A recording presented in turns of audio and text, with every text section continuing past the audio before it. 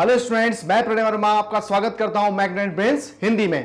तो आज के इस वीडियो में हम स्टार्ट करने जा रहे हैं हमारा अध्याय तीन, और इस अध्याय तीन में हम चालू करेंगे इसका एक वन शॉट रिवीजन तो इसका एक कंप्लीट वीडियो जो अध्याय तीन का जो है, हम लोग यहाँ पे पूरा कर चुके हैं। आज हम इसका एक रिवीजन करने जा रहे हैं। तो देखते हैं, इस रिवीजन में हमने कौन कौन से चैप्टर जो कौन कौन से चैप्टर के अंदर कौन कौन से क्वेश्चन है, जो बहुत ज़्यादा इंपॉर्टेंट है, उन सबको हमने यहाँ पे कवर किया है। तो चलिए आइए, देखते हैं कौन कौन से क्वेश्चन है, जो हमारे लिए बहुत ज़्यादा ज़रूरी है।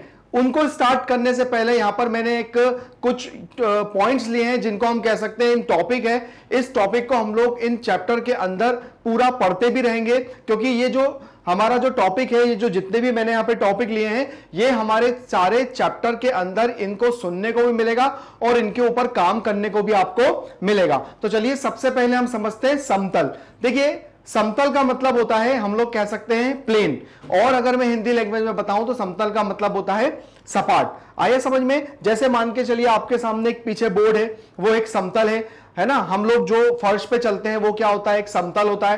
तो समतल का मतलब होता है प्लेन तो ठीक है अगला क्या है हमारा?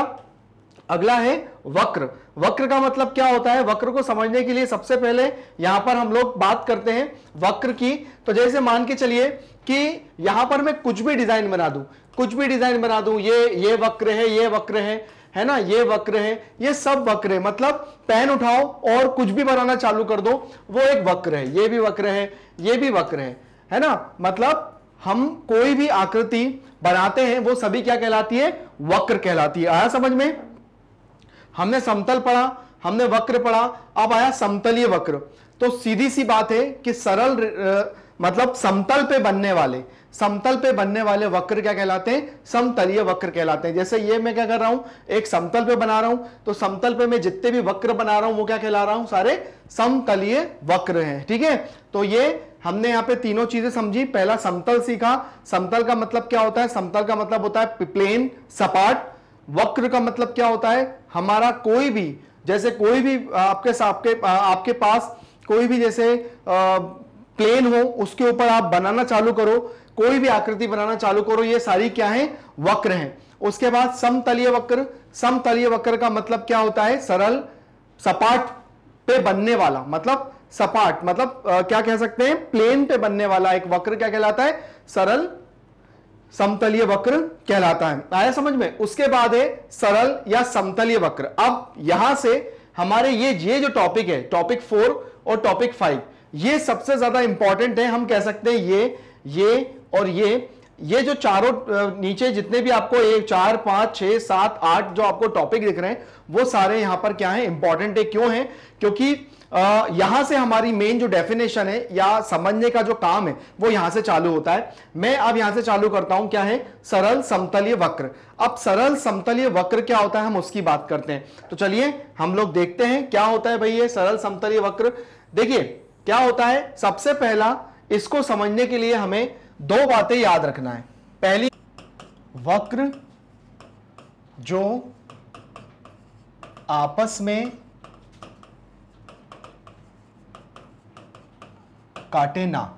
वक्र जो आपस में काटे ना। इसका मतलब क्या होता है? इसका मतलब ये होता है कि जैसे मैंने ये बनाया और ये इसने आपस में, इसने क्या कर लिया? काट लिया। ये ऐसे बनाया, ये इसने ऐसे काट लिया। ठीक है? वक्र तो ये भी है। वक्र तो ये भी है। बट क्या है? ये काट नहीं रहा है। बट क्या है? ये वक्र है। तो वक्र तो ये भी है। हम वक्र इसको भी बोलेंगे। ठीक है ना? आया समझ में? मतलब क्या है? हम समतलीय वक्र कह रहे हैं तो समतलीय वक्र क्या है? एक तरह से समतलीय वक्र ये भी है क्योंकि ये काट नहीं रहा है, ठीक है? और उसके बाद ये भी क्या है? ये भी वक्र है, ये काट नहीं रहा है। आया समझ में? मतलब ये भी हमारा क्या है? समतलीय वक्र है। बट बात ये होती है कि अगर ये आकृति काट लेता है मतलब ये आपस में काट लेते हैं तो ये क्या कहलाता है? क्या कहलाता है ये? समतलीय वक्र नहीं कहलाता। आया समझ में? दूसरा क्या है कि वक्र को बनाने में है ना? दूसरा क्या है कि आ, हमारा जो समतली वक्र है है ना? समतली वक्र के बारे में हम पढ़ रहे हैं तो दूसरा क्या है कि बनाने में पेन को उठाना ना पड़े। मतलब जैसे मान के चलिए मैं ये बना रहा हूँ ऐसा बना के मैं यहीं रुका ये हो गया तो ये भी क्या कहलाता है हमारा? समतलीय वक्र कहलाता है। ऐसा मैंने बनाया ये है ना? ये हमारा वक्र है। इसको मैं कह सकता हूँ ये क्या है? वक्र है। ठीक है? लेकिन जो अगर मुझे क्या बनाना है अगर मुझे समतलीय वक्र बताना है। मतलब समतलीय वक्र बनाना है तो उसका एक कारण, उसका एक रीजन ये होता है कि यहाँ पर जब मैं इसको बनाऊँ तो बनाने के बाद क्या होता है, मेरा पैन नहीं उठे। मतलब एक बार में मैं उसको बना लू। ये ये इसकी एक शर्त होती है। आया समझ में? तो बहुत इजी है, बहुत इजी डेफिनेशन है इनको समझने की। ऐसा कोई टफ भी नहीं है कि इनको नहीं समझा जा सकता। दूसरा है सरल बंद वक्र। अब देखिए, सरल बंद वक्र के लिए क्या है? सबसे पहले क्या है? वक्र। तो मैंने बताया वक्र क्या होते हैं। सरल वक्र क्या हुआ है? यह भी मैंने आपको बताया। अब सरल बंद वक्र का मतलब क्या होता है? तो वो समतलीय वक्र मतलब सरल वक्र की सारी जो चीज़ें हैं, उसको तो निभाएगा, लेकिन साथ में वो क्या होगा? बंद भी होगा। आया समझ में? कैसे? देखिए। मान के चलिए, ये मैंने बनाया, ये तो मेरा वक्र है। पर ये क्या है? ये सरल बंद वक्र नहीं है। बंद क्यों नहीं है? क्यों? क्योंकि ये तो खुला हुआ है। अब मैंने इसको बना दिया। ये हो गया बंद वक्र। एक मेरा बंद वक्र ये भी है। है ना? ये मेरा बंद वक्र है। है ना? ये भी मेरा बंद वक्र है। इस तरह से। है ना? तो सरल बंद वक्र का मतलब क्या होता है? सरल बंद वक्र का मतलब वक्र जो बंद हो। आया समझ में?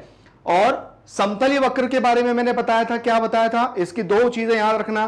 पहला क्या है? ये मतलब आपस में एक दूसरे को काटे ना, और दूसरा क्या है? हम जब इसको बनाते हैं तो हमारा बनाने में, पूरा कंप्लीट बनाने में इसको पेन ना उठे। एक ये होता है, सरल बंद वक्र भी ये हो गया। अब उसके बाद हमारी जो ये तीन डेफिनेशन है मतलब तीन टॉपिक है, इसकी अगर हम बात करते हैं तो हम इसको आगे समझते हैं। ठीक है? चलिए।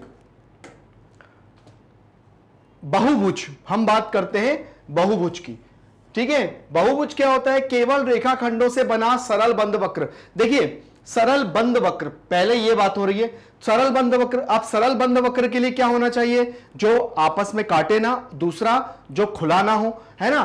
तो रेखाखंडों से बना हुआ। देखिए, ये रेखाखंड है, ये रेखाखंड है, ये रेखाखंड है, ये रेखाखंड है, ये रेखाखंड है, ये रेखाखंड है ना? क्या है? रेखाखंडों से भी बन रहा है। सरल भी है और बंद भी है। तो वो बहुभुज कहलाता है। ये ये देखिए, ये भी है और ये भी है। रेखाखंडों से बना। अब देखिए, मान के चलिए, ये ये ये और मैंने इसको ऐसा कर दिया। तो ये बहुभुज है, ये बहुभुज नहीं है। क्यों? क्योंकि देखिए, ये तो सरल रेखा से बन रहा है, पर यहाँ पे ऐसा जाके मुड़ गया। तो ये क्या है? बहुभुज नहीं कहलाएगा। सीधी भाषा में रेखाखंडों से बना सरल बंद वक्र। तो सरल बंद वक्र का मतलब क्या होता है कि जो आ, हमारी जो बंद वक्र है जो सरल बंद वक्र है उसकी पूरी जो चीज़ें मैंने बताई वो तो होंगी। और दूसरी बात हमें बस एक ये ऐड करना है क्या? जो रेखाखंडों से मिलकर बनाओ। ये क्यों नहीं है? ये क्यों नहीं है? पहला ये आपस में काट रहा है ये भी काट रहा है ये वक्र तो है बट क्या है ये? खुला हुआ है। तो इसलिए ये क्या है? ये भी रेखाखंड भी है बट क्या है? जो हमारा सरल बंद वक्र की जो परिभाषा होती है, जो आपस में काटे ना, ये भी काट रहा है, ये भी काट रहा है बट ये क्या है? खुला हुआ है, ये बंद नहीं है। तो इसलिए क्या है? ये नहीं कहलाएँगे। ये नहीं कहलाएँगे बट ये क्या कहलाएँगे हमारे? बहुभुज कहलाएँगे। आया समझ में? बहुत इजी है। आगे आते हैं। आगे जो दिया हुआ है हमारा यह है बहुभुज। अब आगे जो है, बहुभुजों का वर्गीकरण। लेकिन इसके पहले यहाँ पर मैं आपको दो तीन चीज़ें और बता दूँ, जैसे उत्तल और अवतल बहुभुज। है ना? उत्तल और अवतल जो बहुभुज होते हैं, वो, देखिए, उत्तल और अवतल बहुभुज। देखिए, उत्तल और अवतल बहुभुज में हमें केवल एक बात समझना है कि उत्तल बहुभुज, ये जो है हमारे उत्तल बहुभुज है और ये अवतल है। तो उत्तल बहुभुज जो होते हैं, उसके अंदर जो विकर्ण बनता है ना, वो विकर्ण कहाँ बनता है? अंदर की तरफ़ बनता है। ये ये। ये विकर्ण क्या बनेगा? अंदर की तरफ़ बनेगा। देखो, इसमें भी विकर्ण अंदर की तरफ़ बनेगा, इसमें भी विकर्ण अंदर की तरफ़ बनेगा, इसमें भी विकर्ण कहाँ बनेगा? अंदर की तरफ़ बनेगा। ठीक है? उत्तल बहुभुज में, है ना? और अवतल बहुभुज जो होता है, उसमें विकर्ण कहाँ बनता है? बाहर की तरफ़ बनता है। एक विकर्ण जो रहता है ना, वो बाहर की तरफ़ होता है। ये, बस इसके अंदर हमें समझने वाली बस यही बात है कि उत्तल और अवतल जो है, उसके अंदर, उत्तल के अंदर जो विकर्ण बनता है, वो अंदर की तरफ़ बनता है और अवतल के अंदर जो विकर्ण बनता है, वो बाहर की तरफ़ बनता है। ठीक है? ये चीज़ का आप लोग ध्यान रखिएगा। आगे बढ़ते हैं। आगे है हमारा सम तथा विषम बहुभुज। देखिए, सम और विषम का मतलब क्या होता है? सम का मतलब क्या होता है? सबसे पहले हम वो बात करते हैं। सम का मतलब समान। सम का मतलब क्या होता है? समान। समान का मतलब जैसे ये त्रिभुज है। तो त्रिभुज के अंदर जितने जितनी हमारी क्या है? भुजाएँ हैं, उतने कोण भी हैं। जैसे ये जितनी भुजाएँ हैं, चार भुजाएँ तो चार कोण हैं। इसके अंदर कितनी भुजाएँ हैं? जैसे एक, दो एक, दो, तीन, चार, पाँच, छह। तो छह भुजाएँ हैं षटभुज है। तो छह ही कोण है। वैसे ये क्या है? एक, दो, तीन, चार, पाँच। तो ये भी हमारे पास क्या है? पाँच भुजाएँ और पाँच क्या है? कोण है। और इसके अंदर क्या है? विषम बहुभुज में, विषम बहुभुज में आपने देखा होगा कि यहाँ पर सम और विषम। तो सम का मतलब क्या होता है? सम का मतलब मैंने क्या समझाया? सम के अंदर मैंने बताया कि जितनी भुजाएँ होती है, उतने कोण होते हैं बट विषम के अंदर देखा होगा कि इसके अंदर ये वाली भुजा, ये वाली भुजा, ये वाली भुजा, ये वाली भुजा, ये एक आयत है, लेकिन इसके अंदर क्या है? हमारे जो कोण है, वो क्या है? चार है। और इसके अंदर देखो, कोण एक है, इसके अंदर कोण दो है, इसके अंदर कोण क्या है? जितनी भुजाएँ उतने कोण। एक, दो, तीन, चार, पाँच तो एक, दो, तीन, चार, पाँच, छह तो क्या है? जितने कोण है, उतनी भुजाएँ नहीं है। बट क्या था? सम के अंदर क्या था? जितनी कोण है, उतनी भुजाएँ भी हैं बट इसके अंदर जितनी भुजाएँ, उतने कोण नहीं है। तो ये सम और विषम से हमने ये समझा कि सम और विषम क्या होते हैं? भाई, सम और विषम ये होते हैं कि जितनी भुजाएँ होती हैं, उतने कोण भी होते हैं, और सारी भुजाएँ आपस में एक बराबर होती हैं। आए समझ में? सारी भुजाएँ जो होती है, वो आपस में बराबर होती है। बराबर का मतलब क्या होता है? देखिए, बराबर का मतलब ये होता है कि जैसे ये चार है तो ये भी चार है तो ये भी चार है। आया समझ में? है ना? और इनके अंदर का कोण जो होता है ना, वो भी क्या होता है? बराबर होता है। जैसे ये 60 है तो ये भी 60 और ये भी 60 आया समझ में? और ऐसे ही इसके अंदर होता है तो जैसे ये चार है तो ये भी चार है, पर ये भी चार है। सम का मतलब मतलब सम सब सब समान। क्या होता है? सब चीज़ें समान। जितने कोण उतनी भुजाएँ, और भुजाएँ भी बराबर होती है और कोण भी बराबर होते हैं। भुजाएँ आप, भुजाएँ आपस में बराबर होती है और कोण भी आपस में बराबर होते हैं। बट इसके अंदर इसके अंदर क्या है? जिससे ये आयात है। तो इसमें ये वाली भुजा, ये वाली भुजा आपस में बराबर और ये वाली भुजा और ये वाली भुजा आपस में बराबर है। मतलब क्या है?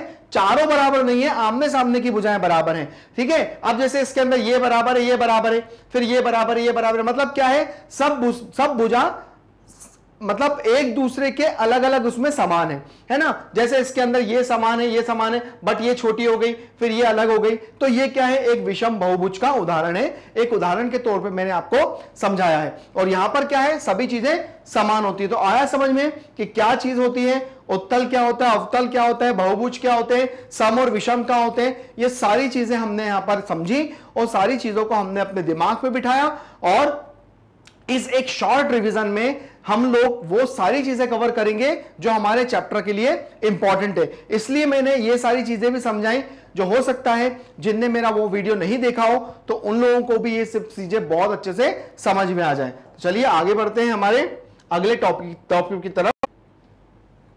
देखिए, अगला है हम बहुभुज का वर्गीकरण उनकी भुजाओं के अनुसार करते हैं। जैसे बहुभुज का वर्गीकरण, यहाँ है भुजाओं या शीर्षों की संख्या और वर्गीकरण। हमारा चालू होता है जो, वो कहाँ से होता है? जैसे बहुभुज, वो जैसे यहाँ पे तीन, फिर चार, फिर पाँच, फिर छह तीन को त्रिभुज कहते हैं, चार को चतुर्भुज कहते हैं, पाँच को पंचभुज कहते हैं छह को षडभुज कहते हैं। तो देखो, इनके अंदर क्या है? भुजाओं और शीर्षों की संख्या। ये है भुजाएँ और ये शीर्ष। तो इसमें तीन शीर्ष है और तीन भुजाएँ हैं। ऐसे चतुर्भुज में चार शीर्ष है और चार भुजाएँ हैं। है ना? ऐसी पंचभुज है तो इसके अंदर चार शीर्ष है। मतलब कितने शीर्ष है? पाँच शीर्ष है और पाँच ही भुजाएँ हैं। ठीक है? और उसके अंदर ये षडभुज है। इसके अंदर भी क्या है? छह शीर्ष है और छह भुजाएँ और आप लोग यहाँ पर ये भी देखेंगे कि जो पंचभुज है तो पंचभुज की आकृति क्या होती है? षडभुज की आकृति क्या होती है? और त्रिभुज है, त्रिभुज की आकृति हम जानते हैं क्या होते हैं? ऐसे उसी प्रकार से हमारे पास और आगे जैसे सप्तभुज है अष्टभुज है नवभुज है और दस भुज है। तो देखिए, जैसे सप्तभुज है तो इसमें सात शीर्ष है और कितनी है? सात ही भुजाएँ एक, दो, तीन, चार, पाँच छ एक, दो, तीन, चार, पाँच छ सात। ठीक है? एक बार और बता दें। देखिए, कैसे? एक, दो, तीन, चार, पाँच छ सात। और सात ही भुजाएँ। एक, दो, तीन, चार, पाँच छ सात। है ना? ऐसे यहाँ पे अष्टभुज है तो अष्टभुज ये एक, दो, तीन, चार, पाँच, छ, सात, आठ और आठ ही भुजाएँ हैं। ऐसे नौ भुज में एक, दो, तीन, चार, पाँच, छ, सात, आठ, नौ दो नौ भुजा, नौ शीर्ष। ऐसे ही दस भुज में एक, दो, तीन, चार, पाँच, छ, सात, आठ, नौ, दस। तो देखा आप लोगों ने कि जितने शीर्ष उतनी भुजाएँ, और क्या बोला था हमसे? एक बहुभुज का वर्गीकरण उनकी भुजाओं या शीर्षों के अनुसार करते हैं। मतलब क्या? बहुभुजों का वर्गीकरण। उनकी भुजाओं और शीर्षों के अनुसार करते हैं। तो देखो, ये भुजाएँ और शीर्ष, और ये वर्गीकरण करा। तो वर्गीकरण में सप्तभुज हो गया, अष्टभुज हो गया, नवभुज हो गया, दसभुज हो गया, चालू का ऐसे होता है, त्रिभुज से। तो ये सारी चीज़ें इनका वर्गीकरण कैसे करते हैं? उनकी भुजाओं और कोण के हिसाब से यहाँ पर हमने देखा। चलिए, अब आगे बढ़ते हैं, और आगे के जो क्वेश्चन है, हम लोग उसको सॉल्व करते हैं। ठीक है, अब पहले यहाँ पर एक चीज़ और पढ़ते हैं यहाँ पर, क्या है? समांतर चतुर्भुज और चतुर्भुज को जितने प्रकार के हमारे चतुर्भुज होते हैं, एक बार उसको हम लोग एक छोटा सा रिवीजन और कर लेते हैं, जितने भी चतुर्भुज होते हैं, क्योंकि फिर उसके बाद इनके जो क्वेश्चन है, वो सारे चालू हो जाएँगे। तो देखो, यहाँ पर दिया है, एक समानता चतुर्भुज जिसमें सम्मुख को, सम्मुख भुजाओं का प्रत्येक युग्म समांतर होता है। जैसे मान के चलिए यह है समानता चतुर्भुज। चतुर्भुज का पहला टाइप क्या होता है? समानता चतुर्भुज। देखिए, इसके अंदर क्या होता है? सम्मुख भुजाएँ बराबर होती है। ये भुजा इसके बराबर, ये भुजा इसके बराबर। ठीक है? सम्मुख भुजाएँ बराबर। दूसरा, सम्मुख कोण बराबर होते हैं। ये कोण इसके बराबर, ये कोण इसके बराबर। ठीक है? पहला, दूसरा। तीसरा, विकर्ण एक दूसरे को समद्विभाजित करते हैं। जैसे ये और ये। आया समझ में? क्या होता है? एक चतुर्भुज जिसमें सम्मुख भुजाओं का प्रत्येक युग्म बराबर होता है। दूसरा क्या है? प्रत्येक युग्म मतलब जैसे ए भी बराबर हो जाएगा किसके?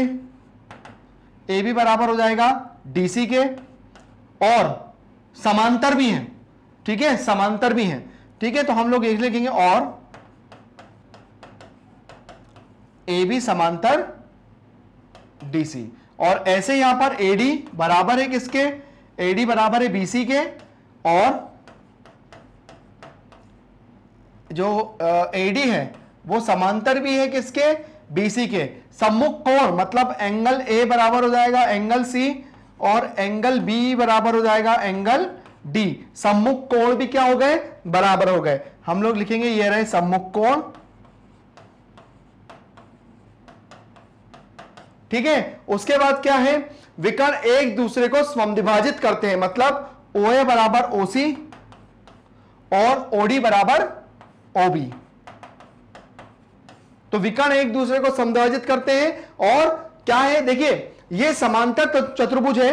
ये समांतर चतुर्भुज जो है, ये सबसे ज़्यादा इंपॉर्टेंट क्यों है? क्योंकि इसी के ही जो मतलब हम कह सकते हैं, इसके जो रूल्स है, इसके अंदर जितनी भी यूज़ होने वाली, जो भी इसके अंदर हम कह सकते हैं कि इसके अंदर जो भी यहाँ पर बातें हमें बताई जा रही है, वो सारी बातें हमारे आने वाले चतुर्भुज में भी काम में आएँगी। इसलिए मैंने यहाँ पर आपको बताया कि पहला क्या है? सम्मुख भुजाएँ बराबर होती हैं। दूसरा, सम्मुख कोण बराबर होते हैं। तीसरा, विकर्ण एक दूसरे को स्वविभाजित करते हैं। बिल्कुल ध्यान रखिएगा, क्योंकि आगे जो आएगा हमारा क्या है?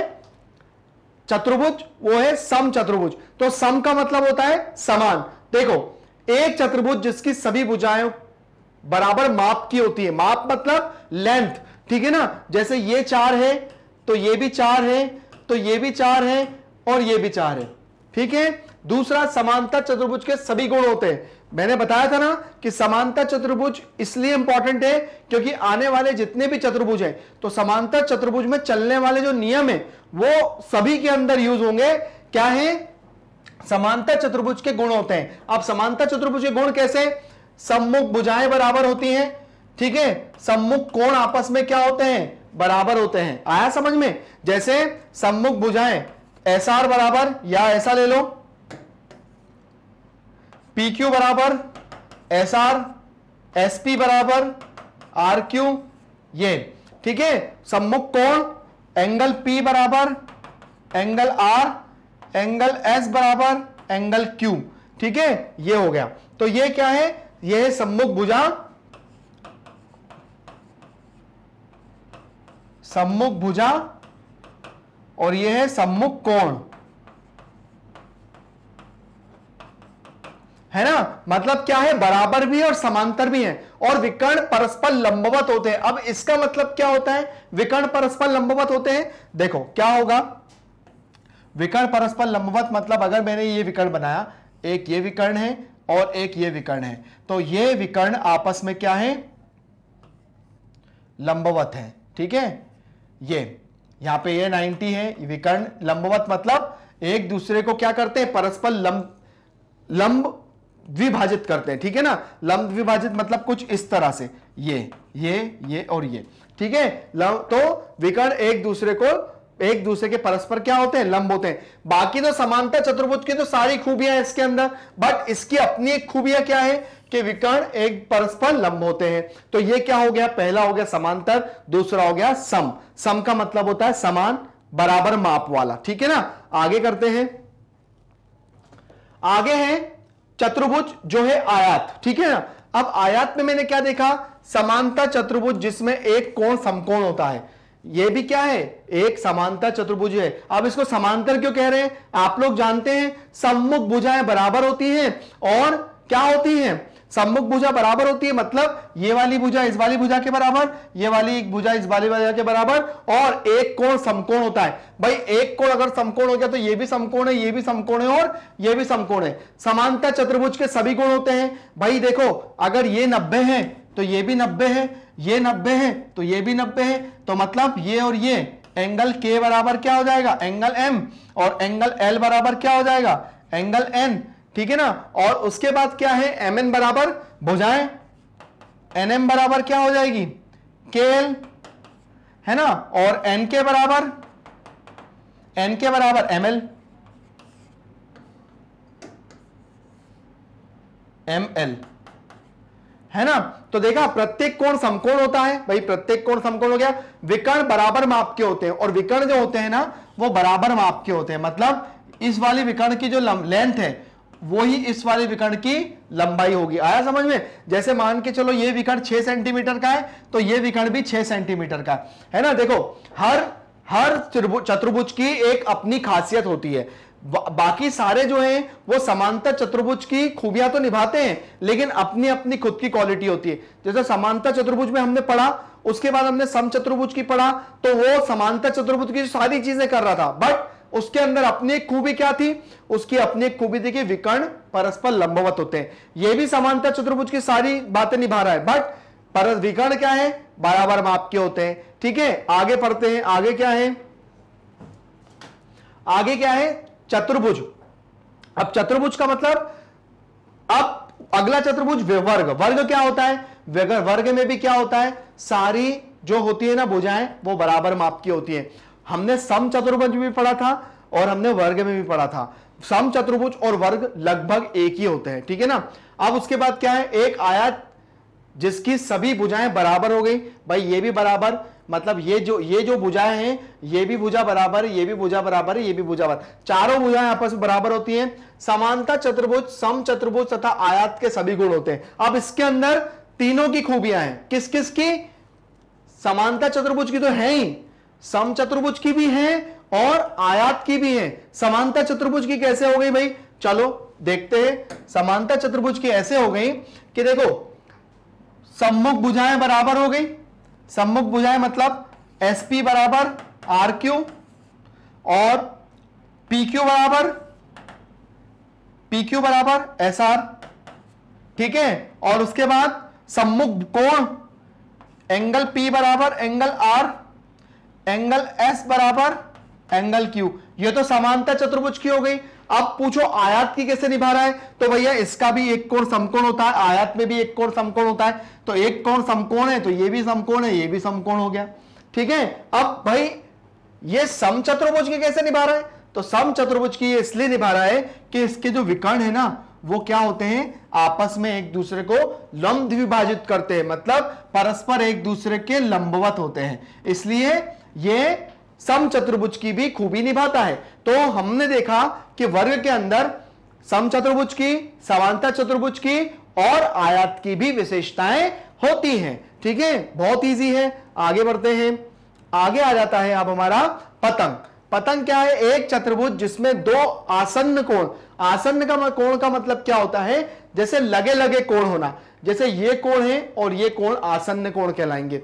है ना? आसन्न भुजाओं के युग्मों के बराबर होते हैं। मतलब क्या हो जाएगा? ये भुजा ये भुजा के बराबर और ये भुजा ये भुजा कोण के मतलब ये भुजा के बराबर। दूसरा क्या है? विकर्ण एक दूसरे, विकर्ण एक के दूसरे पर लंब होते हैं। एक विकर्ण दूसरे विकर्ण को समविभाजित करते हैं।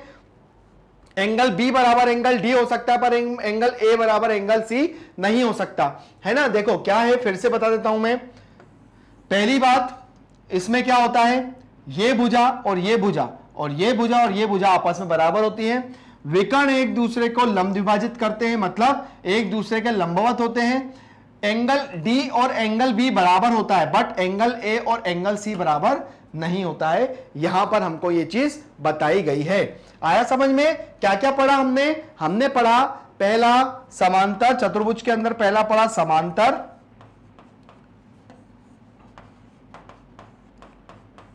है ना? समांतर के बाद हमने दूसरा पढ़ा सम। सम चतुर्भुज। तीसरा पढ़ा हमने क्या? सम चतुर्भुज के बाद हमने क्या पढ़ा? आयत। हमने चौथा पढ़ा वर्ग। और हमने पांचवा पढ़ा पतंग। ये चतुर्भुजों के सारे क्या होते हैं? टाइप होते हैं। टाइप मतलब प्रकार, हम जिसको कहते हैं। आया समझ में? तो यहाँ हमारा पूरा एक तरह से बोलने वाला जो काम है हमारा, कह सकते हैं कि जो इंट्रोडक्शन पार्ट है हमारा, वो ऑलमोस्ट खत्म होता है। इसके बाद हमारे जो चालू होते हैं वो अब क्वेश्चन चालू होंगे।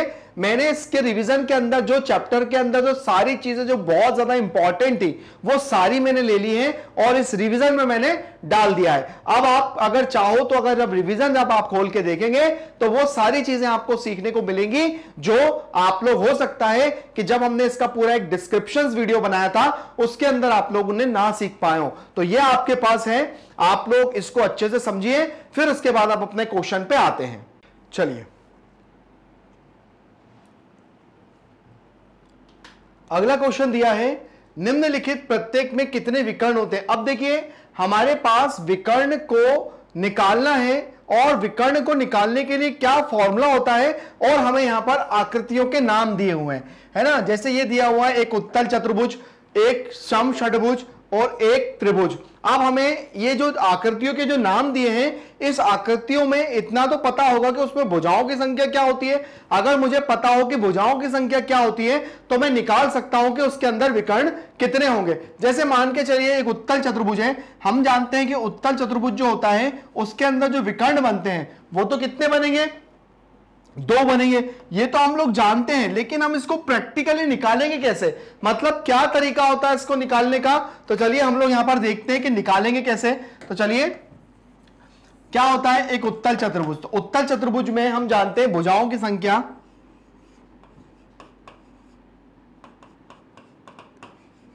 भुजाओं की संख्या को हम लेते हैं एन से। ठीक है? भुजाओं की संख्या को एन से लेते हैं। फॉर्मूला होता है विकर्णों की, विकर्ण,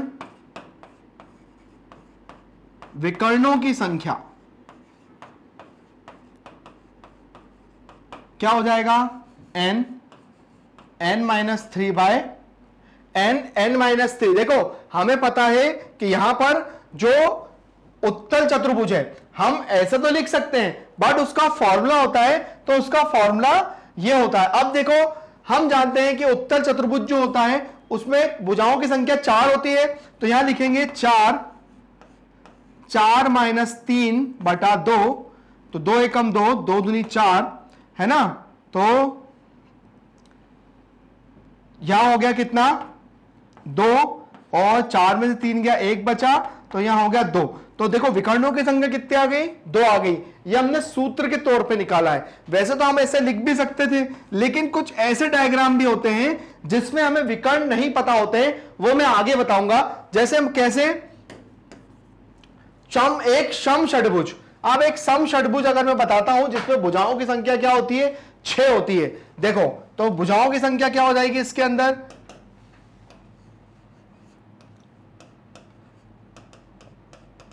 भुजाओं की संख्या छह होती है सम षडभुज में। सूत्र होता है विकर्णों की संख्या के लिए?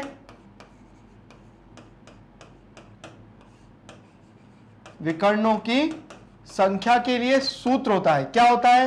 N N minus three by two अब इसमें मैं रखता हूँ और फॉर्मूले में छ रख देता हूँ तो छ माइनस तीन बटा दो दो एकम दो दो छ तो कितना हो जाएगा?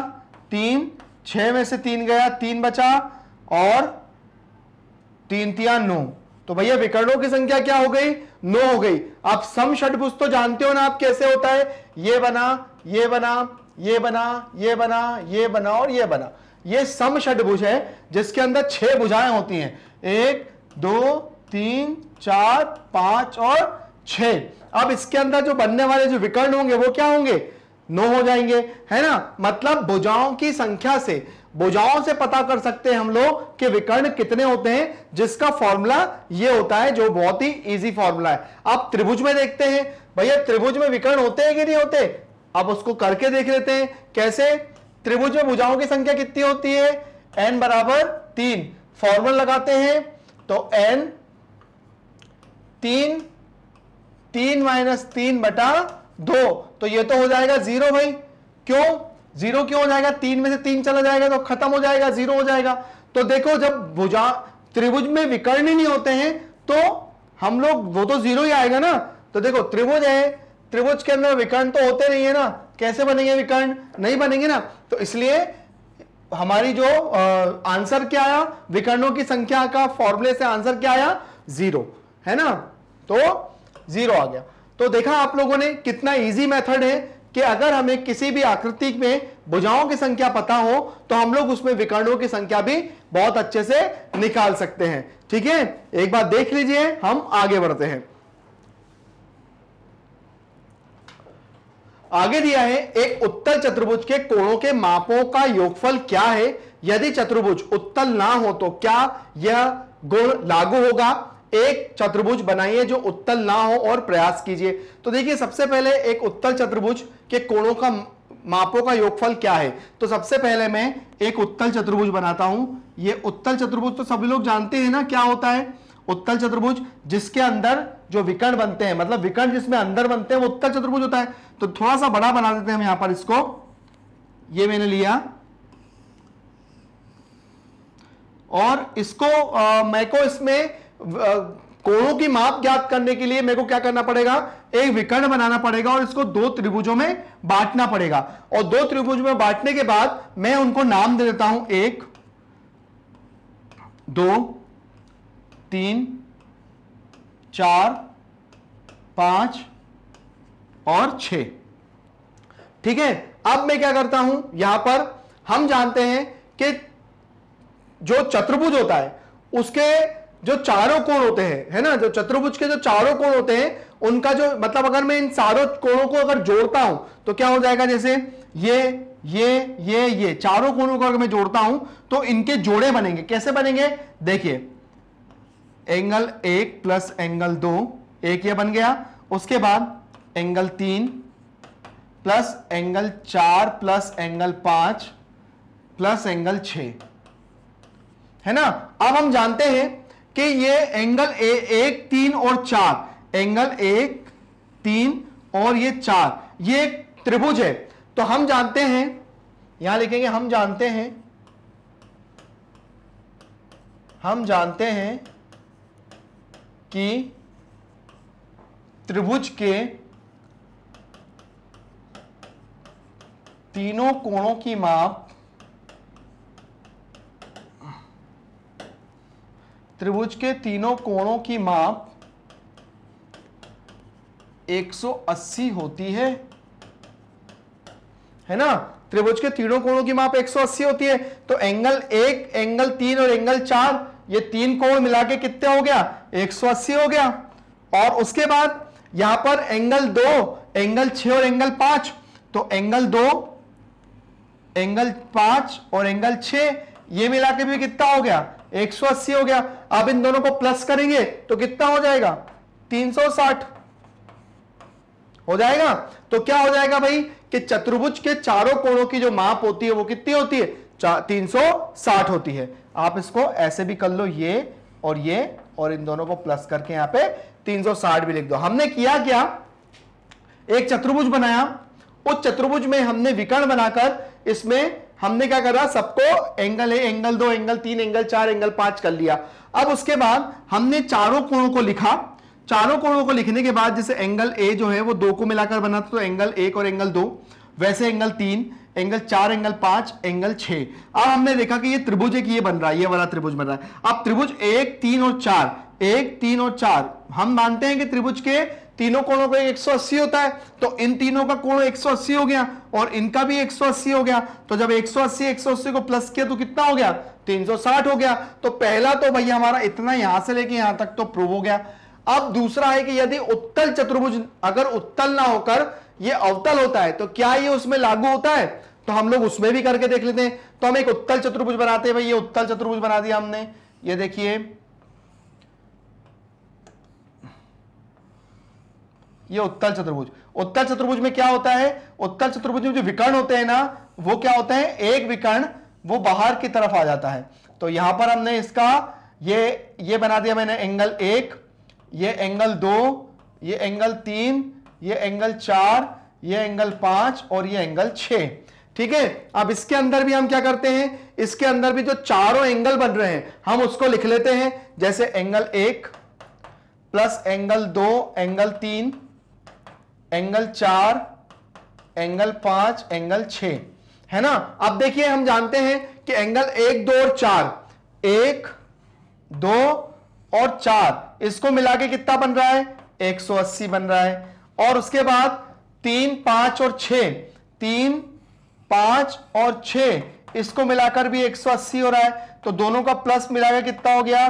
360 तो हाँ, हम बोलेंगे, हाँ, हम बोलेंगे कि एक चतुर्भुज उत्तल अगर बनाते हैं तो उसमें भी तीनों जो चारों कोणों का जो योग होता है, वो भी 360 होता है। तो देखा आप लोगों ने कितना इजी तरीका ने हमने यूज़ किया, और इजी तरीके से यूज़ करके हमने ये बताया कि उत्तल और अवतल दोनों में अगर हम देखते हैं तो दोनों में जो कोण होती है, उसकी जो माप होती है, वो 360 होती है। है ना? बहुत अच्छे से, बहुत इजी तरीके से हमने समझाया, और हमने इसको कंप्लीट किया। चलिए आगे बढ़ते हैं। अगला जो क्वेश्चन है, वो दिया है, तालिका की जाँच कीजिए। प्रत्येक आकृति को त्रिभुज में बांटा, बांटिए और कोणों का योग ज्ञात कीजिए। जैसे मान के चलिए, ये त्रिभुज है। हम जानते हैं कि त्रिभुज के तीनों कोणों को एक 180 होता है। अब मान के चलिए चतुर्भुज है। है ना? ये चतुर्भुज है। मैंने ये एक, ये लाइन बनाकर इसके अंदर इसको दो त्रिभुज में बांट दिया। एक त्रिभुज ये हो गया, एक त्रिभुज ये हो गया। इसमें भुजाओं की संख्या कितनी है? इसमें भुजाओं की संख्या एक, दो, तीन, चार हो गई। तो अब क्या करेंगे? ये फॉर्मूला होता है।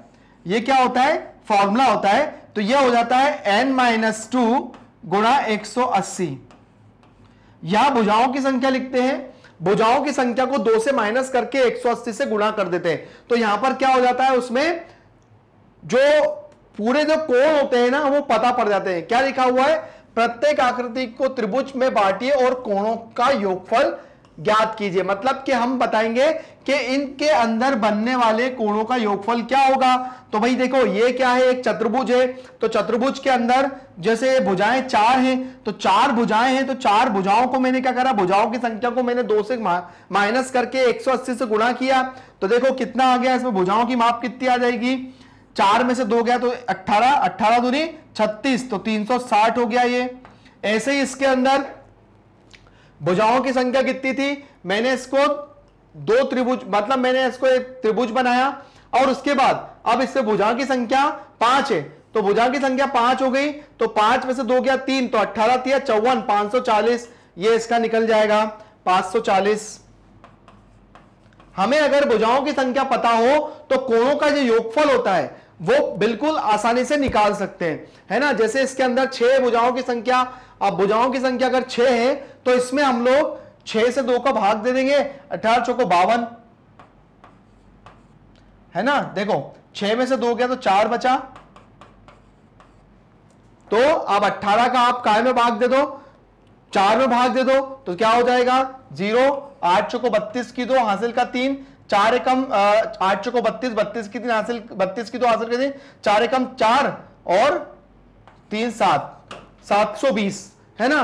मतलब ये 540 ये 720 ऐसे आगे आगे बढ़ते जाएँगे तो हमको क्या पता पड़ता जाएगा? इनके कोणों का योगफल पता पड़ता जाएगा, ठीक है ना? तो यहाँ पर आपने देखा, यहाँ पर किस तरह से क्या फॉर्मूला होता है? भुजाओं की संख्या से हम लोग क्या क्या कर सकते हैं? भुजाओं की संख्या से हम लोग, हमने दो चीज़ सीख सके कि भुजा की संख्या से हम लोग एक तो विकर्ण निकाल सकते हैं और भुजाओं की संख्या से हम लोग क्या निकाल सकते हैं? कोणों का योगफल निकाल सकते हैं। ठीक है ना? जैसे इसके अंदर चार था, अठारह चौक बहत्तर, सात सौ बीस, है ना? यहाँ पर था तो अठारह या चौवन, यहाँ पर था तो अठारह दुनी छत्तीस। इस तरह से हम लोगों ने अपने भुजाओं की संख्या से कोणों का योगफल निकाल लिया, जो कि बहुत आसान था। अब हमारे पास इसका क्वेश्चन भी आता है। क्या होगा क्वेश्चन? वो भी देख लेते हैं।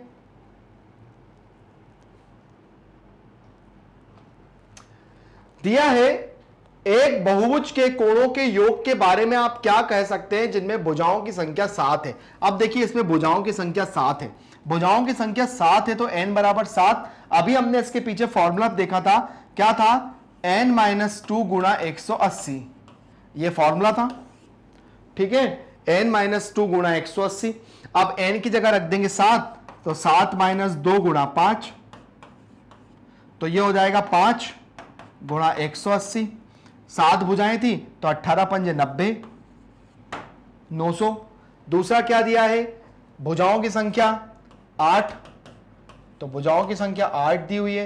यही फॉर्मूला होता है तो कितना हो जाएगा?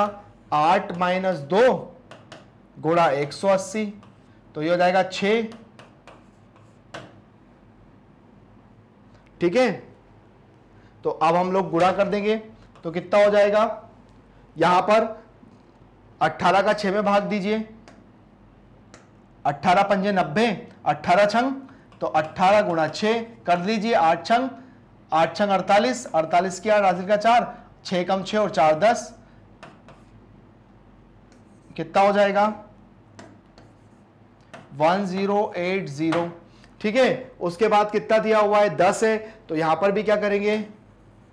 दस है तो एन बराबर दस तीसरा तो ये हो जाएगा दस माइनस दो गुणा एक सौ अस्सी तो ये हो जाएगा आठ। अट्ठारह अट्ठे एक सौ चवालीस होता है तो ये कितना हो जाएगा?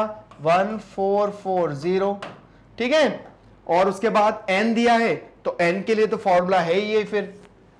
एन एन माइनस टू गुणा एक सौ अस्सी। मतलब इन सारी चीज़ों से हमने क्या देखा?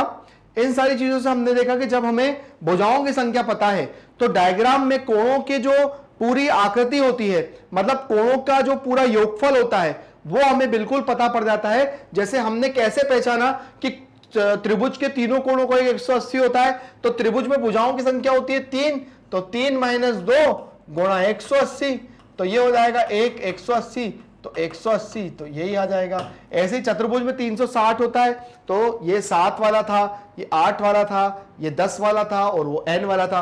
तो हमने ये सब चीज़ें बहुत अच्छे से देखी, और हमने इनको सॉल्व भी किया तो वो बहुत इजी से सॉल्व भी हो गई। ठीक है? क्या सीखा? पहला सीख चुके हैं। देखिए, मैं फिर से रिपीट कर रहा हूँ। पहले हम सीख चुके हैं कि अगर हमें भुजा की संख्या पता हो तो कोण कैसे निकालते हैं? मतलब कोणों का योगफल कैसे निकालते हैं? दूसरा, अगर हमें भुजाओं की संख्या पता हो तो हम अंदर बनने वाले विकर्ण कैसे निकालते हैं? ये भी हम लोग कर चुके हैं। हम लोग यहाँ पे दो फॉर्मूले कर चुके हैं, ठीक है ना? तो अब इनको बिल्कुल भी मत भूलिएगा, हम आगे बढ़ते हैं। आगे दिया है समबहुभुज क्या है? एक समभुभुज का नाम लिखिए मतलब समबहुभुज का नाम लिखिए। तीन भुजाओं वाला, चार भुजाओं वाला और छह भुजाओं वाला। देखिए तीन भुजाओं वाला सम बहुभुज का मतलब यह होता है, ऐसा बहुभुज जिसमें कोणों की संख्या भी, कोणों की संख्या भी वही रहती है और भुजाओं की संख्या भी इक्वल रहती है। मतलब वही का मतलब जो भुजाओं की संख्या होती है, वही कोणों की संख्या होती है। जैसे त्रिभुज है तो ये क्या है? त्रिभुज है। तो इस त्रिभुज में ये जो भुजाएँ हैं, ये भुजाओं की जो लंबाई है, वही सारी लंबाई एक ही रहेगी। मतलब ये तीन है तो ये भी तीन है और ये भी तीन है। ठीक है? भुजाएँ बराबर हैं और जितनी भुजाएँ हैं, उतने कोण भी हैं। जैसे ये 60 ये भी 60 और ये भी 60 आया समझ में? तो सम बहुभुज का मतलब यह होता है कि कोणों की संख्या और भुजाओं की संख्या बराबर होती है। आई बात समझ में? ठीक है? और उसके बाद ये चार भुजाओं वाला वर्ग है। वर्ग में क्या होता है? वर्ग में भी हर भुजा, वर्ग में भी क्या होता है कि हर जो हर भुजा क्या होती है? बराबर होती है और कोण भी बराबर होते हैं मतलब कोण भी इक्वल होते हैं और ऐसे ही होता है तीसरा षडभुज। ये कुछ इस तरह से बनता है। इसके अंदर भी, इसके अंदर भी क्या होता है? कोणों की संख्या और भुजाओं की संख्या बराबर होती है। मतलब कोण भी इक्वल होंगे आपस में और भुजाएँ भी इक्वल होंगी आपस में। फिर से समझना, जितने कोण होंगे, उतनी भुजाएँ होंगी जितने कोण आपस में एक दूसरे के इक्वल होंगे तो भुजाएँ भी आपस में एक दूसरे के इक्वल होंगी। मतलब समान माप की होंगी। कहने का मतलब यह है। तो यहाँ पर मैंने तीन भुजाओं वाला भी बताया, चार भुजाओं वाला भी बताया और छह भुजाओं वाला भी मैंने आपको बताया। ठीक है ना? आगे आते हैं। आगे लिखा है, निम्नलिखित आकृतियों में x का मान ज्ञात कीजिए। अब देखिए, हमारे पास ये जो क्वेश्चन आया है वो थोड़ा सा डिफरेंट आया है। अब इसमें क्या करना है मुझे? इसमें मुझे बताना है कि निम्नलिखित आकृतियों में x का मान ज्ञात करना है। तो देखिए, यहाँ पर हमें एक चतुर्भुज दिख रहा है और यहाँ पर हमें x का मान निकालना है। तो x का मान निकालने के लिए हम सबसे पहले क्या यूज़ करेंगे? किस आधार पर चलेंगे? हमारा निकालने का तरीका क्या होगा? सबसे पहले हम उस पर जाएँगे। देखिए, क्या होता है? आपको यह दिख रहा है कि ये वाला 90 है। ठीक है? ये 90 है तो ये भी 90 होगा। ठीक है? कैसे होगा? हम कह सकते हैं कि एक लंब है तो लंब में अगर ये 90 होता है तो ये 90 होगा ही। आया समझ में? अगर आप इसको ऐसे ना समझें तो आप इसको ऐसे भी समझ सकते हैं कैसे? रेखिक युग्म से। रेखिक युग्म। रेखिक युग्म क्या होता है? सरल रेखा पर बनने वाले जितने भी कोण होते हैं, उनकी माप 180 डिग्री होती है। जैसे ये एक सरल रेखा है, उस सरल रेखा पे जैसे मान के चलिए ये कोण बन रहा है तो इस ये पूरा, चाहे ये 90 हो, ये भी 90 हो तो 90 प्लस 90 ये तो हो जाएगा 180 अब इसके अंदर चाहे कितने भी कोण बन रहे हो, ठीक है? उन कोणों की जो माप होगी, वो 180 डिग्री होगी। तो हम यहाँ पर रेखिक युग्म का भी यूज़ कर सकते हैं। जैसे ये 90 है तो हम इसको मान लेते हैं, इसको मान लेते हैं हम यहाँ पर। कोई भी मान ले से P मान लिया। तो यहाँ पे हो जाएगा P बराबर 180 तो 180 मतलब P बराबर 180 माइनस नाइनटी तो P बराबर भी हो गया 90 तो ये हो गया, ये भी कितना हो गया? ये 90 हो गया। अब देखिए यहाँ पर यहाँ पर हम क्या करेंगे कि चतुर्भुज के चारों कोणों का योग जो होता है ना वो 360 होता है। हम जानते हैं। हम जानते हैं कि चतुर्भुज के चारों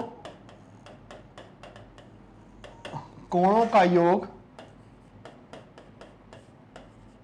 360 होता है। अब हमें यहाँ पे 60 भी दिया है। 60 प्लस 70 प्लस एक्स प्लस 90 बराबर 180 वो, सॉरी 360 ठीक है? 360 आप क्या करेंगे?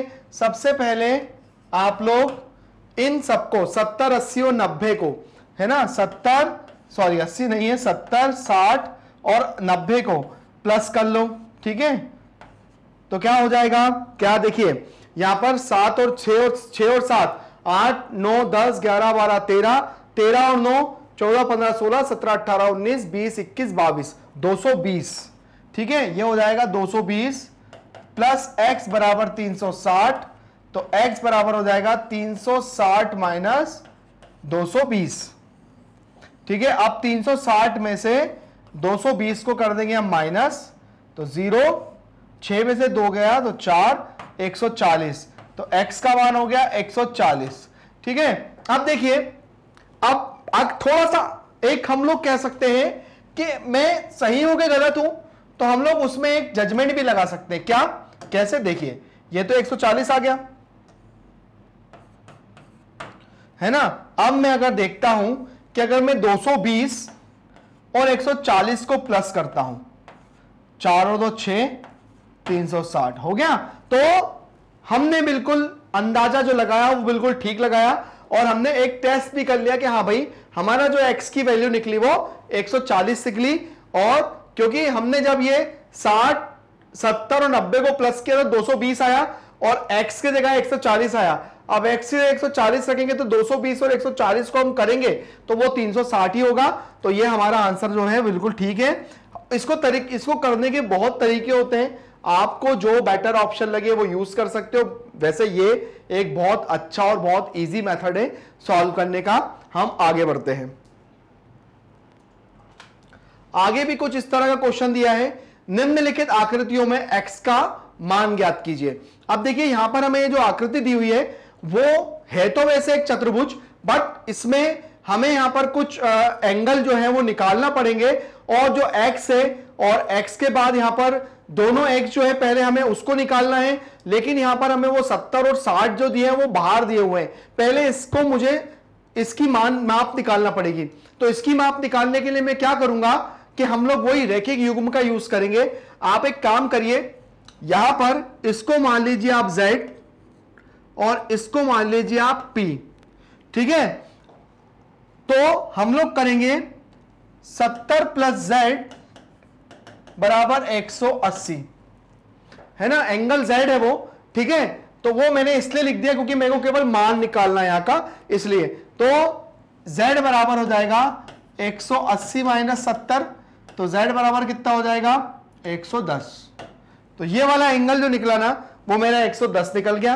है ना? इसको मैं लिख देता हूँ 110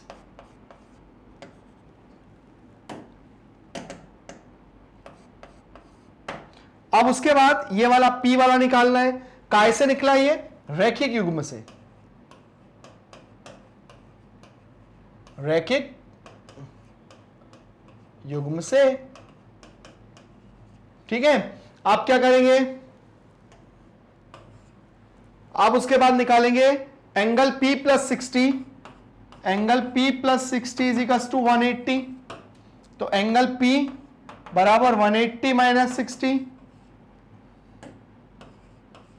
तो एंगल पी कितना आ जाएगा? 120 ये भी कहा से आ गया? रैखिक युग्म से। तो ये एंगल कितना आ गया? 120 ठीक है?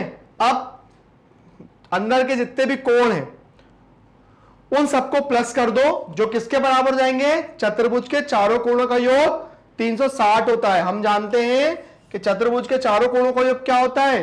360 होता है। है ना? तो अब यहाँ पर हम क्या करेंगे? 30 plus x plus x plus 110 plus 120 बराबर 360 है ना? अब इसको सॉल्व करने के लिए हम लोग क्या करेंगे? देखिए ये तो हो जाएगा 2x है ना? और 30 110 और 120 110 120 और 30 110 110 120 और 30 तीनों दो पाँच और एक छ और दो दो सौ साठ। बराबर तीन सौ साठ। ठीक है? अब हम क्या करेंगे? 260 को उधर शिफ्ट कर देंगे। तो 2x बराबर 360 माइनस दो सौ साठ तो 2x बराबर हो जाएगा ज़ीरो ज़ीरो और वन, हंड्रेड। तो x बराबर हो जाएगा हंड्रेड बटा दो तो हो जाएगा पचास। एक्स का मान कितना हो जाएगा? पचास। तो ये जहाँ जहाँ एक्स थे, वो भी हो जाएँगे कितने? ये भी हो जाएगा पचास और ये भी हो जाएगा पचास। देखिए, समझ कैसे लेते हैं? कि अगर यहाँ पर ये 50 आ गया तो ये 100 अगर मैं 260 में अगर मैं 100 जोड़ दूँ तो वो 360 के बराबर हो जाएगा। तो हम ऐसे भी अपने एक टेस्ट लगा सकते हैं कि मैंने जो क्वेश्चन किया वो बिल्कुल ठीक किया। देखिए ये मैंने एक तरह से आ, करके ये देखा था। एक रेखिक युग्म बनाया था। उस रेखिक युग्म से क्या है? Z प्लस सत्तर बराबर एक सौ अस्सी। तो z का मान निकल गया था और p मैंने खुद माना था, z भी मैंने खुद माना था। आप लोग कुछ भी मान सकते हैं तो p का मान भी आ गया 120 उसके बाद जो चतुर्भुज था, मैंने उसके सारे एंगल 360 के बराबर रख दिए और उसके बाद यहाँ पर x का मान जो था, वो मैंने निकाल लिया, जो कि बहुत ईजी था। ठीक है? आप देख सकते हैं कि हम जो अभी यूज़ कर रहे हैं मेथड यूज़ कर रहे हैं, बहुत इजी और शायद आप लोग भी इसको बहुत अच्छे से कर सकते हैं। चलिए आगे बढ़ते हैं। आगे का जो क्वेश्चन दिया हुआ है, देखिए, ये भी बहुत इंटरेस्टिंग क्वेश्चन है, अगर आप लोग इसको समझ जाए, है ना? मैं आपको एक बात बता दूँ कि चतुर्भुज के और त्रिभुज के, है ना? वैसे तो हम जानते हैं कि चतुर्भुज के आंतरिक जो कोण होते हैं, वो 360 के होते हैं, और जो त्रिभुज होता है, उसके जो आंतरिक कोण होते हैं, वो 180 के होते हैं। बट यहाँ पर त्रिभुज के कोण और चतुर्भुज का जो कोण है, उसकी जो माप होती है ना, वो भी 180 डिग्री होती है। त्रिभुज की भी कोण की माप 360 होती है और चतुर्भुज की भी कोण की माप 360 डिग्री होती है। ये बिल्कुल आप लोग ध्यान रखिएगा।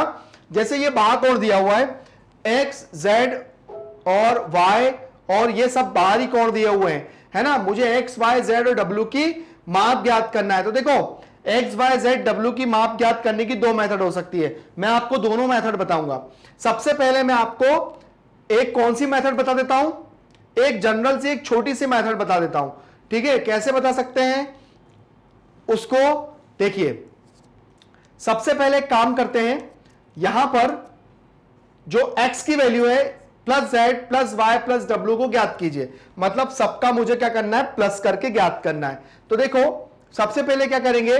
यहाँ पर जैसे जो जेड है, ये ये एक लीनियर पेयर बना रहे हैं। ये भी एक लीनियर पेयर बना रहे हैं। ये भी एक लीनियर पेयर बना रहे हैं। बट यहाँ का मुझे निकालना पड़ेगा। तो देखो लीनियर पेयर मतलब क्या है? रेखिक युग्म बना रहे हैं, ठीक है ना? तो देखो, z प्लस साठ, पहला करूँगा मैं, z प्लस साठ बराबर 180 तो z बराबर हो जाएगा 180 सौ अस्सी माइनस साठ तो z की वैल्यू कितनी आ गई? z की वैल्यू कितनी आ गई? 120 पहला हो गया, ठीक है? बहुत इजी है है ना? पहला हो गया, दूसरा निकालना y प्लस अस्सी वाई प्लस अस्सी बराबर तीन सौ साठ वो एक सौ अस्सी सॉरी तो y बराबर एक सौ अस्सी माइनस सो, अस्सी. तो y बराबर हो जाएगा सो. ये दूसरा निकल गया. पहला दूसरे ऐसे डाल रहा हूँ क्योंकि ये पहला हो गया, ये दूसरा हो गया, ये तीसरा हो गया और ये चौथा हो गया, ठीक है ना?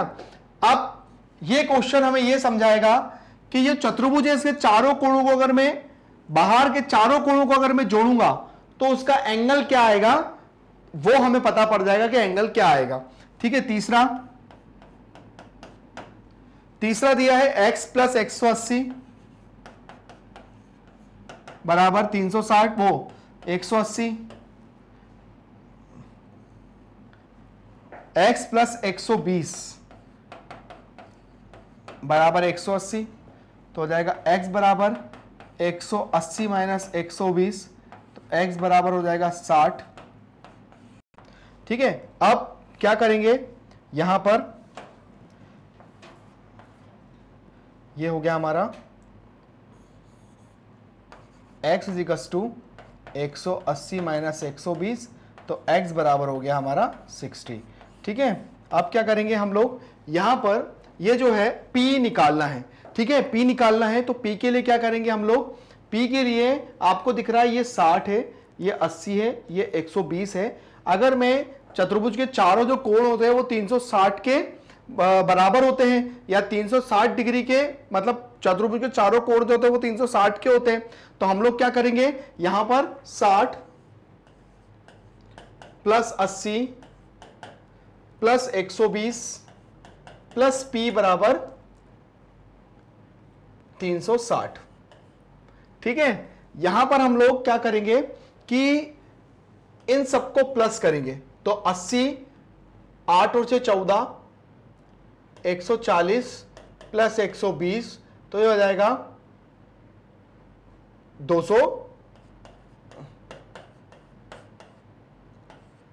साठ। ठीक है ना? 260 प्लस पी बराबर 360 तो P बराबर हो जाएगा 360 माइनस दो सौ साठ तो P का मान हो जाएगा 100 ठीक है?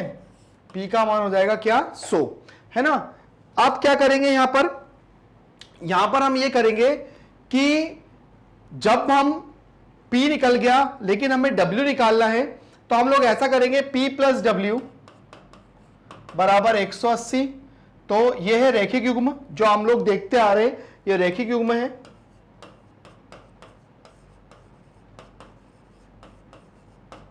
ठीक है? तो आप क्या करेंगे? ये है हंड्रेड प्लस डब्ल्यू बराबर 180 तो डब्ल्यू बराबर हो जाएगा 180 अस्सी माइनस हंड्रेड। तो डब्ल्यू बराबर हो जाएगा 80 है ना? अब यह है मेरा चौथा पॉइंट। अब क्या करेंगे? यहाँ पर अब मैं x, y, z और w को मैं प्लस करूँगा। X, y, z और w को अगर मैं प्लस करता हूँ तो सबका मान चतुर्भुज के चारों कोण जो बाह कोण है क्या वो 360 डिग्री के हो रहे हैं? तो देखिए एक बार प्लस करके देखते हैं। 120 100 60 और 80 तो ये हो जाएगा ज़ीरो। छह और दो आठ आठ और आठ, सोलह सोलह की छह, हासिल का एक तीन सौ साठ। तो हम देखेंगे, x plus y plus z plus W को जब मैंने प्लस किया तो इन सबके मानों को जब मैं प्लस किया तो ये है जो है साठ। साठ, y कितना आया था? सो। z कितना आया था? z हमारा आया था 120 और जो W आया था वो 80 आया था, बराबर हुआ था 360 तो इससे हमने ये देखा कि चतुर्भुज के आंतरिक कोण भी 360 के होते हैं और बाहरी कोण भी जो होते हैं वो 360 होते हैं और त्रिभुज के भी बाहरी कोण जो होते हैं वो 360 डिग्री के होते हैं, ठीक है ना? तो ये हमने पूरा जो क्वेश्चन सॉल्व किया और इस क्वेश्चन को हमसे हमको एक नॉलेज मिला और ये नॉलेज हमारे आगे के भी बहुत काम में आने वाला है। देखा आप लोगों ने, क्वेश्चन बड़ा है, पर बहुत ही इंटरेस्टिंग है। ठीक है? आगे बढ़ते हैं हमारे अगले क्वेश्चन की तरफ़। यह भी कुछ इस तरह का क्वेश्चन है।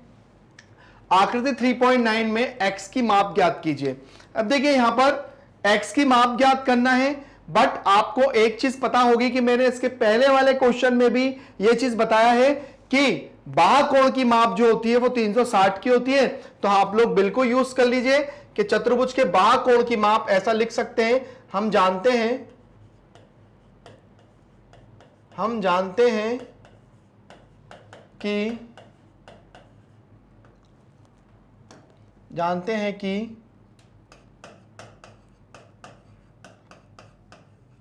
चतुर्भुज के बाह्य कोण की माप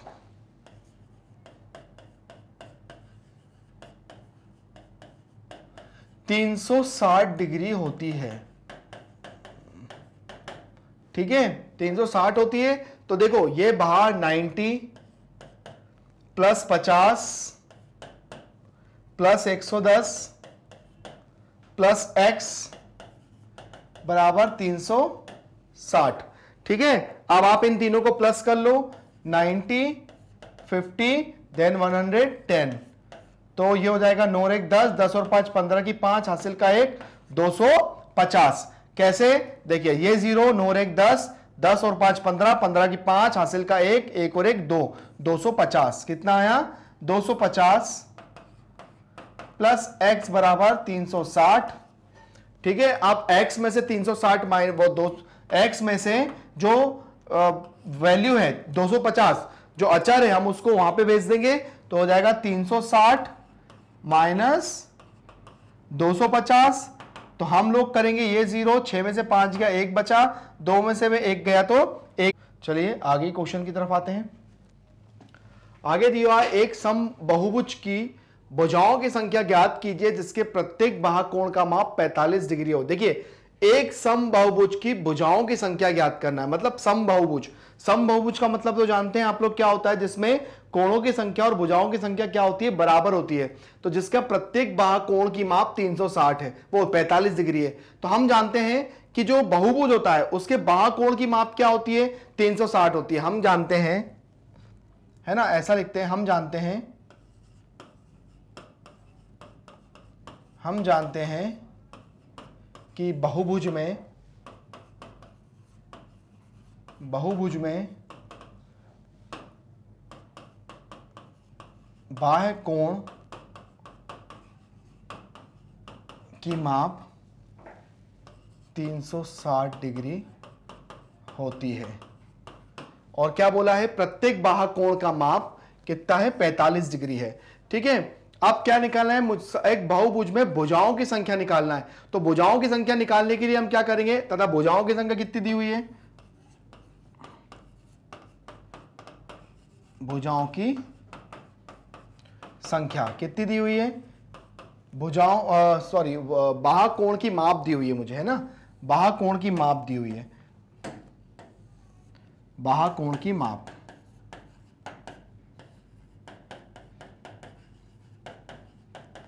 हमें भुजाओं की संख्या तो ज्ञात करना है, ठीक है ना? तो कितनी दी हुई है? 45 अब क्या करेंगे? अब देखिए, भुजाओं की संख्या के लिए।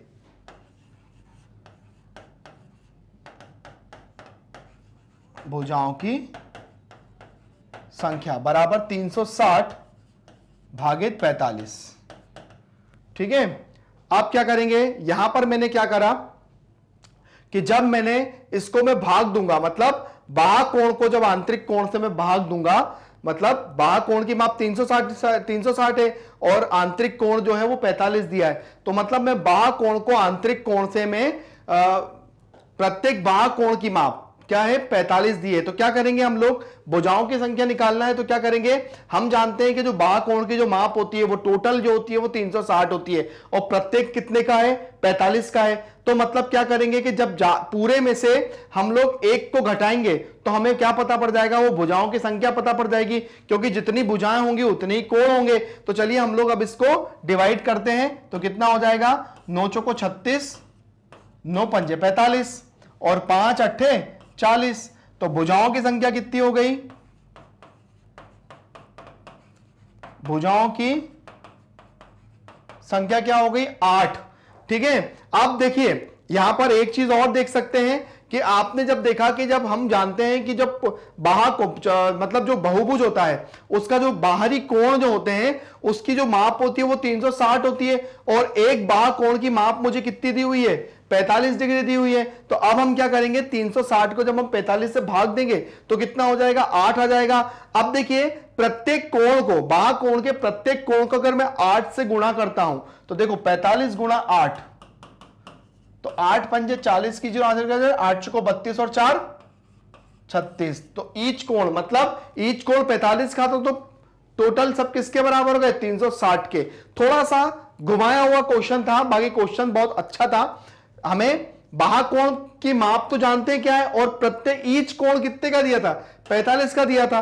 तो हमने निकाल लिया एक को ए, हमने भाग दे दिया जिससे हमें भुजाओं की संख्या पता पड़ गई। तो इस तरह से हम लोग अपने जो क्वेश्चन है उनको मैं आगे अगर इस तरह के क्वेश्चन आते हैं या ऑब्जेक्टिव भी क्वेश्चन आते हैं तो हम उनको ऐसे सॉल्व करेंगे। आगे आते हैं। आगे क्या दिया हुआ है कि निम्नलिखित आकृतियों में एक्स का मान ज्ञात कीजिए। अब देखिए आपने देखा होगा ये त्रिभुज है। ये आपको एक त्रिभुज दिया है और त्रिभुज में भी जो तीनों जो बाहर कोण दिए हैं वो कितने दिए हुए हैं? एक 125 दिया है एक, एक ये भी 125 है ये भी 125 है और ये x है। है ना? अब हमें ये पता होना चाहिए कि त्रिभुज में भी जो बाहर कोण होते हैं उनके जो मान होता है वो 360 होता है। है ना? तो बहुत से लोग देखो इसको ऐसे भी सॉल्व कर सकते हैं। हम देखो ऐसे अंदर ये अंदर और ये अंदर। तो इसको अंदर के कोण भी निकाल सकते हैं, बाहर से आंतरिक कोण। मतलब आंतरिक कोण प्लस बाह्य कोण। कैसे?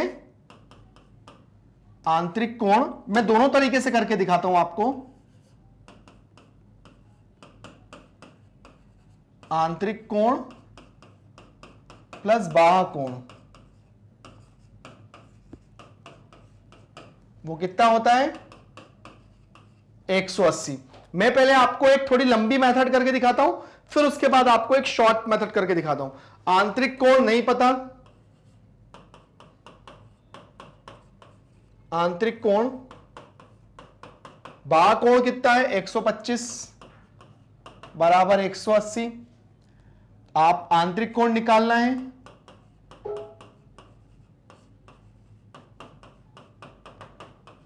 एक सौ अस्सी माइनस एक सौ बीस। तो हो जाएगा 60 ये कितना हो गया? 60 तो ये भी सेम ऐसे ही निकलेगा। आंतरिक कोण पर बाहर को है ना? अब ये निकालना है आपको। है ना? तो इसके लिए क्या करोगे? इसके लिए ये करोगे कि इसको आप मान लो P इसको क्या मान लो? P मान लो। अब देखो, ये भी 160 सेम क्योंकि ये भी 125 था, ये भी 125 था। ओ सॉरी 120 है ये। है ना? 120 है ठीक है? 125 है 120 लिख के रखा है मैंने। है ना? 125 है भाई, ठीक है? अब 180 में से 125 को माइनस करो तो 10 में से 5 गए 5 बचा। 8 में से यहाँ पे 7 7 में से 2 गया, कितना बचा? 5 ठीक है? ये 55 हो गया। ठीक है? ये 55 तो ये 55 है, ये 55 है, ये वाला 55 निकला। तो ये भी 55 निकलेगा। ठीक है? ये 55 है तो ये भी 55 है। तो ये वाला निकालना है तो इसको मान लो P तो देखो, ये 55 प्लस 55 प्लस P बराबर 180 ठीक है? अब 55 55 को हम लोग करेंगे। तो देखिए, कितना हो जाएगा? 55 और 55 पाँच पाँच दस की जगह, पाँच पाँच दस और एक ग्यारह। एक सौ दस प्लस पी बराबर एक सौ अस्सी। तो P बराबर हो जाएगा 180 माइनस एक सौ दस तो P बराबर कितना हो जाएगा? 70 ये कितना हो गया? 70 अब x का निकालना है तो x ज़ाहिर सी बात है कि x 110 होगा। देखो, इन दो आंतरिक कोणों का जो मान होता है, इन दो आंतरिक कोणों का जो योग होता है, वो इस कोण के बराबर होता है। तो ये 110 कितना है? 110 x का मान कितना आएगा? 110 ही आएगा। चाहे आप इसको ऐसा भी सॉल्व कर सकते हो कि भैया ये 70 है, आप इसमें से 180 से 70 को माइनस करोगे तो 110 आएगा तो भी आप ऐसा कर सकते हो, है ना? लेकिन इसका एक नियम ऐसा होता है कि त्रिभुज के दो आंतरिक कोणों का जो योग है, वो एक बाहरी कोण के बराबर होता है। तो आंतरिक कोणों का योग क्या था? 110 वो x के बराबर हो गया तो यहाँ पर x का मान 110 हो गया। अब लेकिन ये तो एक मेथड है। हमारे पास एक दूसरी मेथड भी है इसको सॉल्व करने की। कैसे? चलिए, हम अब इसको पूरे को हटा देते हैं। अब इसको सॉल्व करने के लिए, देखो, हम जानते हैं कि चतुर्भुज के चारों कोणों, चतुर्भुज के जो बाहरी कोण होते हैं, उनका मान भी क्या होता है? 360 तो ये हो जाएगा 125 प्लस 125 है ना? 125 125 प्लस 125 प्लस x बराबर 360 ठीक है 125 और 125 को प्लस करो। तो 125 और 125 पाँचों बार दस की जो हासिल का एक दो दो, चार और एक, पाँच, है ना? और कितना हो जाएगा? दो दो, चार और एक, पाँच, दो सौ पचास। ठीक है ना? देखो, पाँचों पाँच दस की ज़ीरो हासिल का एक दो दो, चार और एक, पाँच और ये, दो सौ पचास। कितना हो जाएगा? 250 प्लस 360 x प्लस 360 तो x बराबर हो जाएगा 360 माइनस 250 तो x बराबर 360 में से 250 को माइनस करेंगे 110 ये हो गया। तो देखा आप लोगों ने, ये है बहुत शॉर्ट मेथड। और वो थी थोड़ी सी लॉन्ग मेथड लेकिन शॉर्ट मेथड का यूज़ करिए, आपको करने में भी अच्छा लगेगा और जल्दी भी हो जाएगा। और अगर ये एमसीक्यूज में आता है तो आप उसको और अच्छे से सॉल्व कर सकते हो। देखा आप लोगों ने किस तरह से हमने सॉल्व किया। और सॉल्व करने के बाद आप लोगों ने यह भी देखा कि हम लोगों ने कैसे इसको मतलब हमारे जो दोनों तरीकों से सॉल्व किया। एक, हमने एक आंतरिक कोण निकाल के भी सॉल्व किया, हमने एक बाहरी कोण निकाल के भी इसको सॉल्व किया और आपने दोनों मेथड देख चलिए, आगे क्वेश्चन पे आते हैं। क्या दिया है अगला क्वेश्चन अगला क्वेश्चन भी दिया है कि हमें एक आकृति दी हुई है। निम्नलिखित आकृतियों में x का मान ज्ञात कीजिए। आपने देखा होगा, देखिए, आप डायग्राम में एक ध्यान दिया करिए कि आप लोग ये देखा करो कि आंतरिक कोण और बाहर कोण आपको समझ में आएँगे। देखो, हमें जितने भी दिए सब ये बाहरी कोण दिए हुए हैं। ठीक है? ये सब बाहरी कोण दिए हुए हैं। और इस वाले एंगल का मतलब होता है ये 90 डिग्री ठीक है? अगर ये लिखा नहीं भी हो तो भी समझ जाना अगर इस तरह का अगर आपको कोई भी अगर आ, इमेज दिखती है या इस तरह का अगर कोई भी कोण दिखता है तो वो समझ लीजिए कि वो 90 डिग्री ही है। तो मुझे यहाँ पर x का मान निकालना है। तो x का मान निकालने के लिए मैं क्या करूँगा? देखिए सबसे पहले हम लोग क्या करेंगे? यहाँ से चलेंगे 60 plus 90 plus seventy plus x. देखो, ये 90 है तो ये भी 90 होगा कंफर्म्ड है, ठीक है ना? और 90 बराबर 360 ठीक है? यहाँ पर हमें दो 90 के एंगल दिए थे। क्या क्या दिया था? एक ये था और एक ये था। ये 90 है तो ये भी 90 होगा, है ना? और ये 90 है तो ये वाला भी 90 होगा, ठीक है ना? अब क्या करेंगे, हमें x का मान निकालना है क्योंकि बाहरी कोण है तो अब हम लोग क्या करेंगे, इन सबको x को छोड़ के बाकी सबको क्या कर लेंगे, यहाँ पर हम प्लस कर लेंगे। x को छोड़ के सबको हमें करना है प्लस ठीक है? तो क्या करेंगे, देखिए, यहाँ पे हम लिख लेते हैं साठ, नब्बे, सत्तर, नब्बे, ठीक है? सबको प्लस करो तो देखो, नौ नौ, अट्ठारह अट्ठारह और छह, उन्नीस, बीस, इक्कीस, बाईस, तेईस, चौबीस चौबीस और सात, पच्चीस, छब्बीस, सत्ताईस, अट्ठाईस, उनतीस, तीस और इकतीस, तीन सौ दस। तो तीन सौ दस प्लस एक्स बराबर तीन सौ साठ। ठीक है? अब क्या करेंगे? X बराबर 360 माइनस 310 तो x का मान कितना हो जाएगा? 360 में से 310 को माइनस करिए 50 x का मान कितना हो जाएगा? पचास। ठीक है ना? अगर आप यहाँ पे पचास रख के देखते हैं और सबको अगर प्लस करते हैं तो आपका जो मान आएगा वो क्या आएगा? पचास ही आएगा। ये हमने देखा और x का मान यहाँ पे कितना निकल के आया? पचास, है ना? तो केवल हमने डायग्राम को देखा। डायग्राम को देखने के बाद हमने यह भी जाना कि भाई, अगर इसका बाहरी कोण निकालना हो तो बाहरी कोण निकालने का तो तरीका होता है, वो बहुत ही इजी होता है। और बहुत से लोग इसको ऐसा भी कर सकते हैं कि भाई, आंतरिक निकाल लो, इसका भी आंतरिक निकाल लो, ये आंतरिक है, इसका भी आंतरिक और इसका भी आंतरिक, फिर इसको सॉल्व कर लो। ऐसा भी कर सकते हैं बट हमें जब पता है कि वह बाहरी कोण का माप 360 होता है तो इसको हम लोग बहुत कम समय देकर अपने क्वेश्चन को सॉल्व कर सकते हैं। ठीक है ना? तो बहुत ईजी है। आप सभी को अच्छे से आया होगा समझ में। आगे बढ़ते हैं। एक समबहुभुज के प्रत्येक बाह कोण का माप ज्ञात कीजिए। मतलब एक समबहुभुज है। देखो, समबहुभुज की बात हो रही है तो हम जानते हैं, मैं बार बार बता रहा हूँ, समबहुभुज का मतलब होता है कि जिसमें जो जितने कोण होते हैं और जितनी भुजाएँ होती हैं, वो समान ही होती है। कोणों की संख्या और भुजाओं की संख्या क्या होती है? वो बराबर होती है। ठीक है ना? तो अब क्या है? एक समबहुभुज के प्रत्येक बाह कोण के माप ज्ञात कीजिए, अगर जिसमें नौ भुजाएँ हैं। ठीक है ना? तो हम लोग भुजाओं की संख्या को क्या करते हैं? भुजाओं की संख्या को हम लोग एन से काउंट करते हैं, ठीक है ना? और कोणों की संख्या को एक्स से ज्ञात करते हैं। तो हम क्या करेंगे? बाह कोण की माप। तो हम लिखेंगे माना बाह कोण की माप एक्स से, माना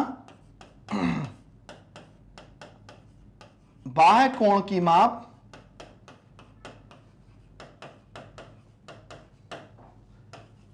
माना कोणों की संख्या, ऐसा कर लो। माना कोणों की संख्या एक्स है माना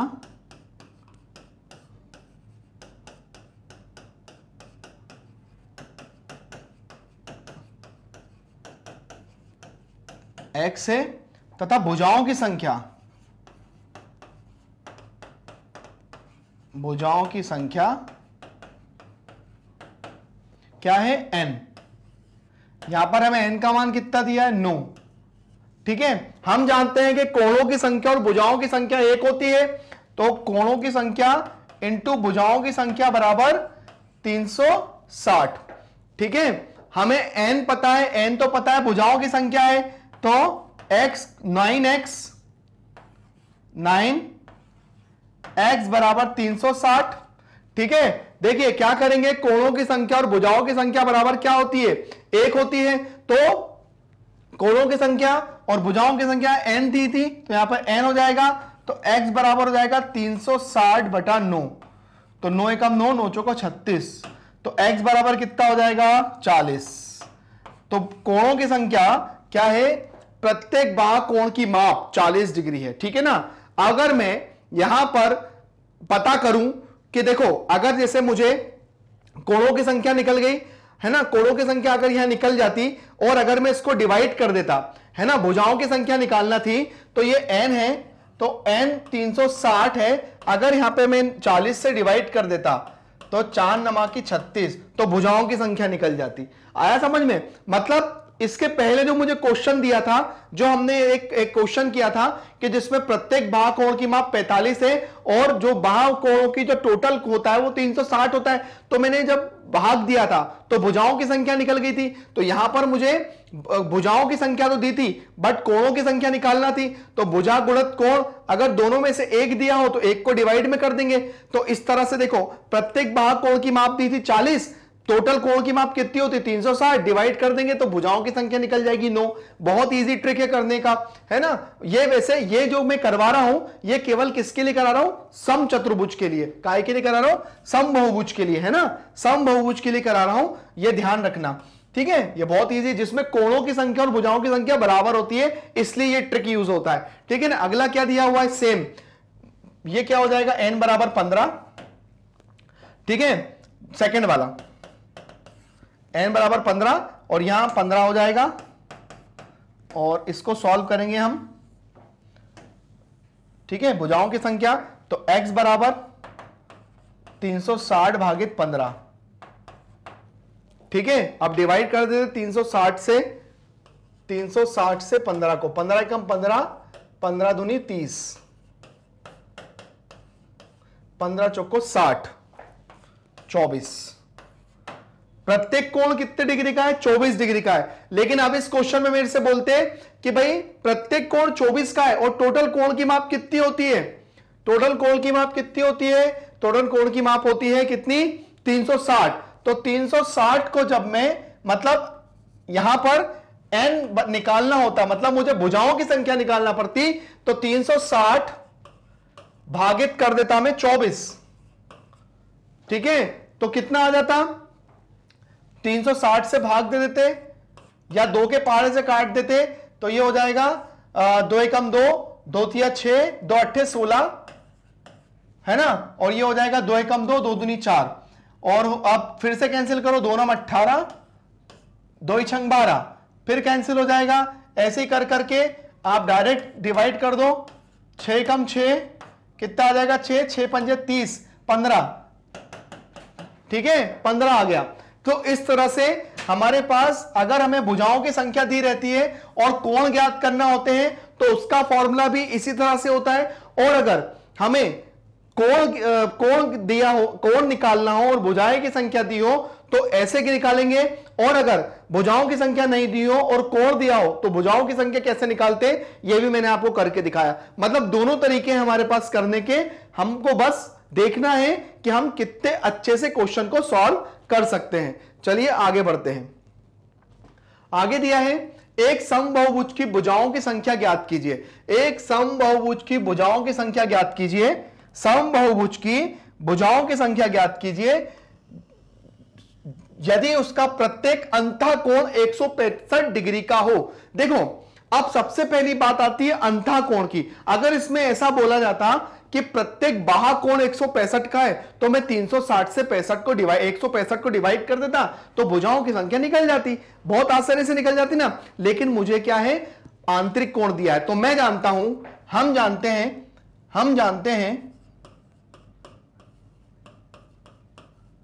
हम जानते हैं कि, है ना अंत कोण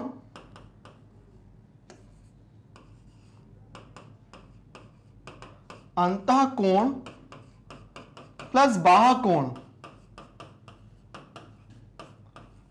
जो होता है, वो 180 डिग्री का होता है। है ना? हमने अभी इतने सारे क्वेश्चन करे, उसमें अंता कोण और बाह कोण होता है, उसकी माप 180 डिग्री होती है तो हम जानते हैं। तो हमें क्या दिया है? अंता कोण एक दिया है। ठीक है? और बाह कोण क्या है? नहीं पता। बाह कोण को मान लो आप x, ठीक है? बाह कोण को मान लो आप x, और ये हो जाएगा 180 तो x बराबर कितना हो जाएगा? 180 माइनस एक तो 180 में से जब एक सौ पैंसठ को मैं माइनस करूँगा तो 10 में से 5 गए 5 बचा। यहाँ हो गए सात सात में से एक गए, सात में से छह गया, एक बचा। ठीक है? ये हो गया पंद्रह। एक्स का मान कितना हो गया? पंद्रह। और एक्स क्या था भाई? बाह कोण। क्या था एक्स है ना? अब मुझे क्या बोला था? एक सम बहुभुज में भुजाओं की संख्या ज्ञात कीजिए, यदि प्रत्येक अंता कोण अब वही चीज़ देखो, ये बाह कोण, प्रत्येक बाह कोण तो मुझे मिल गया। अब मुझे क्या निकालना है? भुजाओं की संख्या निकालना है। तो देखो, भुजाओं की संख्या निकालने के लिए क्या फॉर्मूला होता है? अभी इसके पहले ही मैंने पढ़ा था भुजाओं की संख्या के लिए क्या करेंगे? N बराबर 360 बटा 15 360 बटा 15 कर देंगे ना?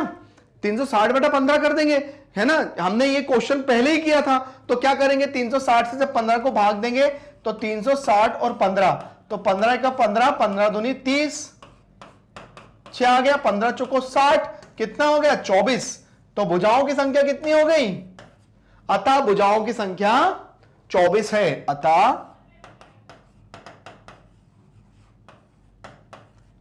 भुजाओं की संख्या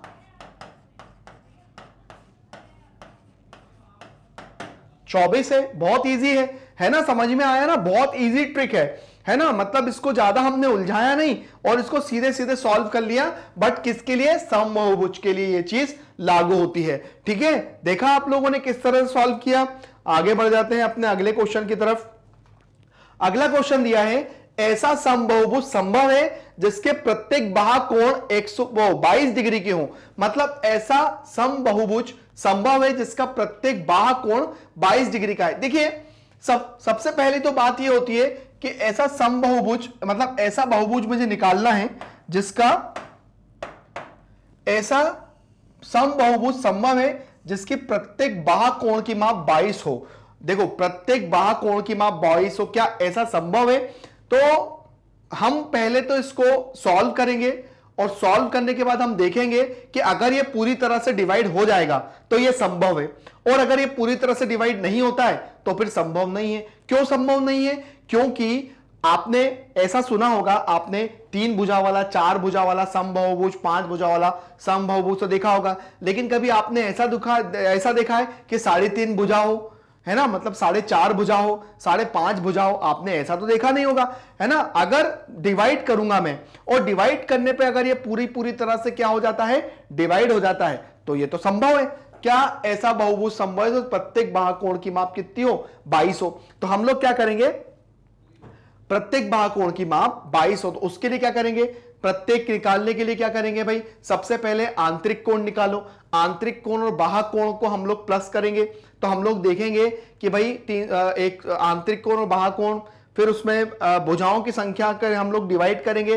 तो पूरी तरह से सॉल्व होना चाहिए।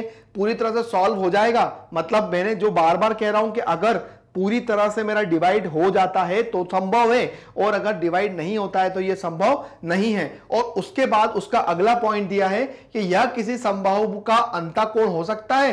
तो अंताकोण हो सकता है तो वो हो सक, कैसे हो सकता है? उसकी भी ध्यान रखिए के लिए। हम लोग क्या करेंगे? हम लोग क्या करेंगे? सबसे पहले हम पहले वाले पॉइंट पे आएँगे। पहले वाले पॉइंट पे आएँगे। अब पहले वाले पॉइंट में दिया है कि कोणों का तो हम लोग जानते हैं कि सम बहुभुज में सम बहुभुज में जो कोणों की संख्या होती है है ना? कोणों की संख्या भुजाओं की संख्या के बराबर होती है। कोणों और भुजाओं की संख्या बराबर होती है है ना? सम बहुभुज में सम बहुभुज में कोणों की संख्या, भुजाओं की संख्या बराबर होती है तो एक तीन सौ साठ। ठीक है? अब यहाँ पर मैं एन भुजाएँ हैं मतलब ये एन जो है ना, वो भुजाएँ हैं। और कोण दिया है तो एन इंटू बाईस बटा तीन सौ साठ तो एन बराबर तीन सौ साठ बटा बाईस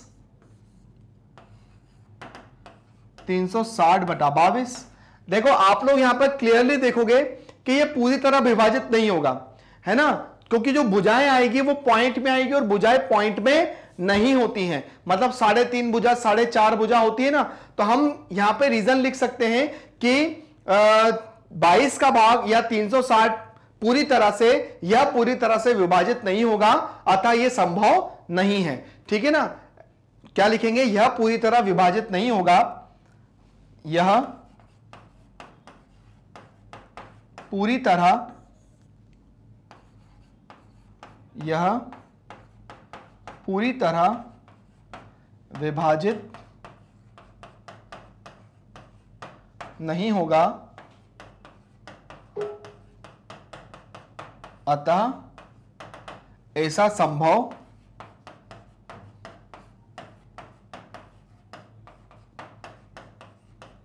नहीं है। यह पूरी तरह विभाजित नहीं होगा, अतः ऐसा संभव नहीं है। ठीक है, ये तो संभव नहीं है भाई, ये तो हो गया। दूसरा क्या है, यह किसी समबाहु का अंता कोण हो सकता है। तो भाई अंता कोण के लिए भी क्या करेंगे? अंता कोण के लिए भी हमारी वही प्रोसेस रहेगी। क्या प्रोसेस रहेगी? सबसे पहले तो अंता कोण निकाल लो अंता कोण से फिर बाहा कोण निकाल लो। फिर उसके बाद हम लोग देखो कि ये जो है पूरी तरह विभाजित हो जाएगा।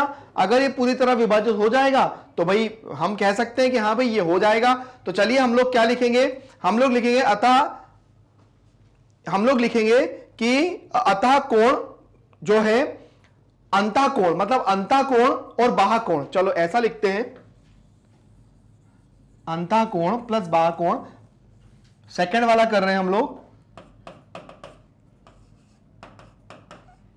अंतः कोण बाह कोण बराबर 180 अब कहा है कि ये अंता कोण तो अंता कोण मतलब 22 बाह कोण 180 तो बाह कोण को आप ले लो x बाह कोण हो जाएगा। बराबर 180 माइनस बाईस। तो एक x बराबर 180 में से मैंने बाईस को घटा दिया। तो ये हो जाएगा आठ में से, दस में से दो गया, आठ बचा।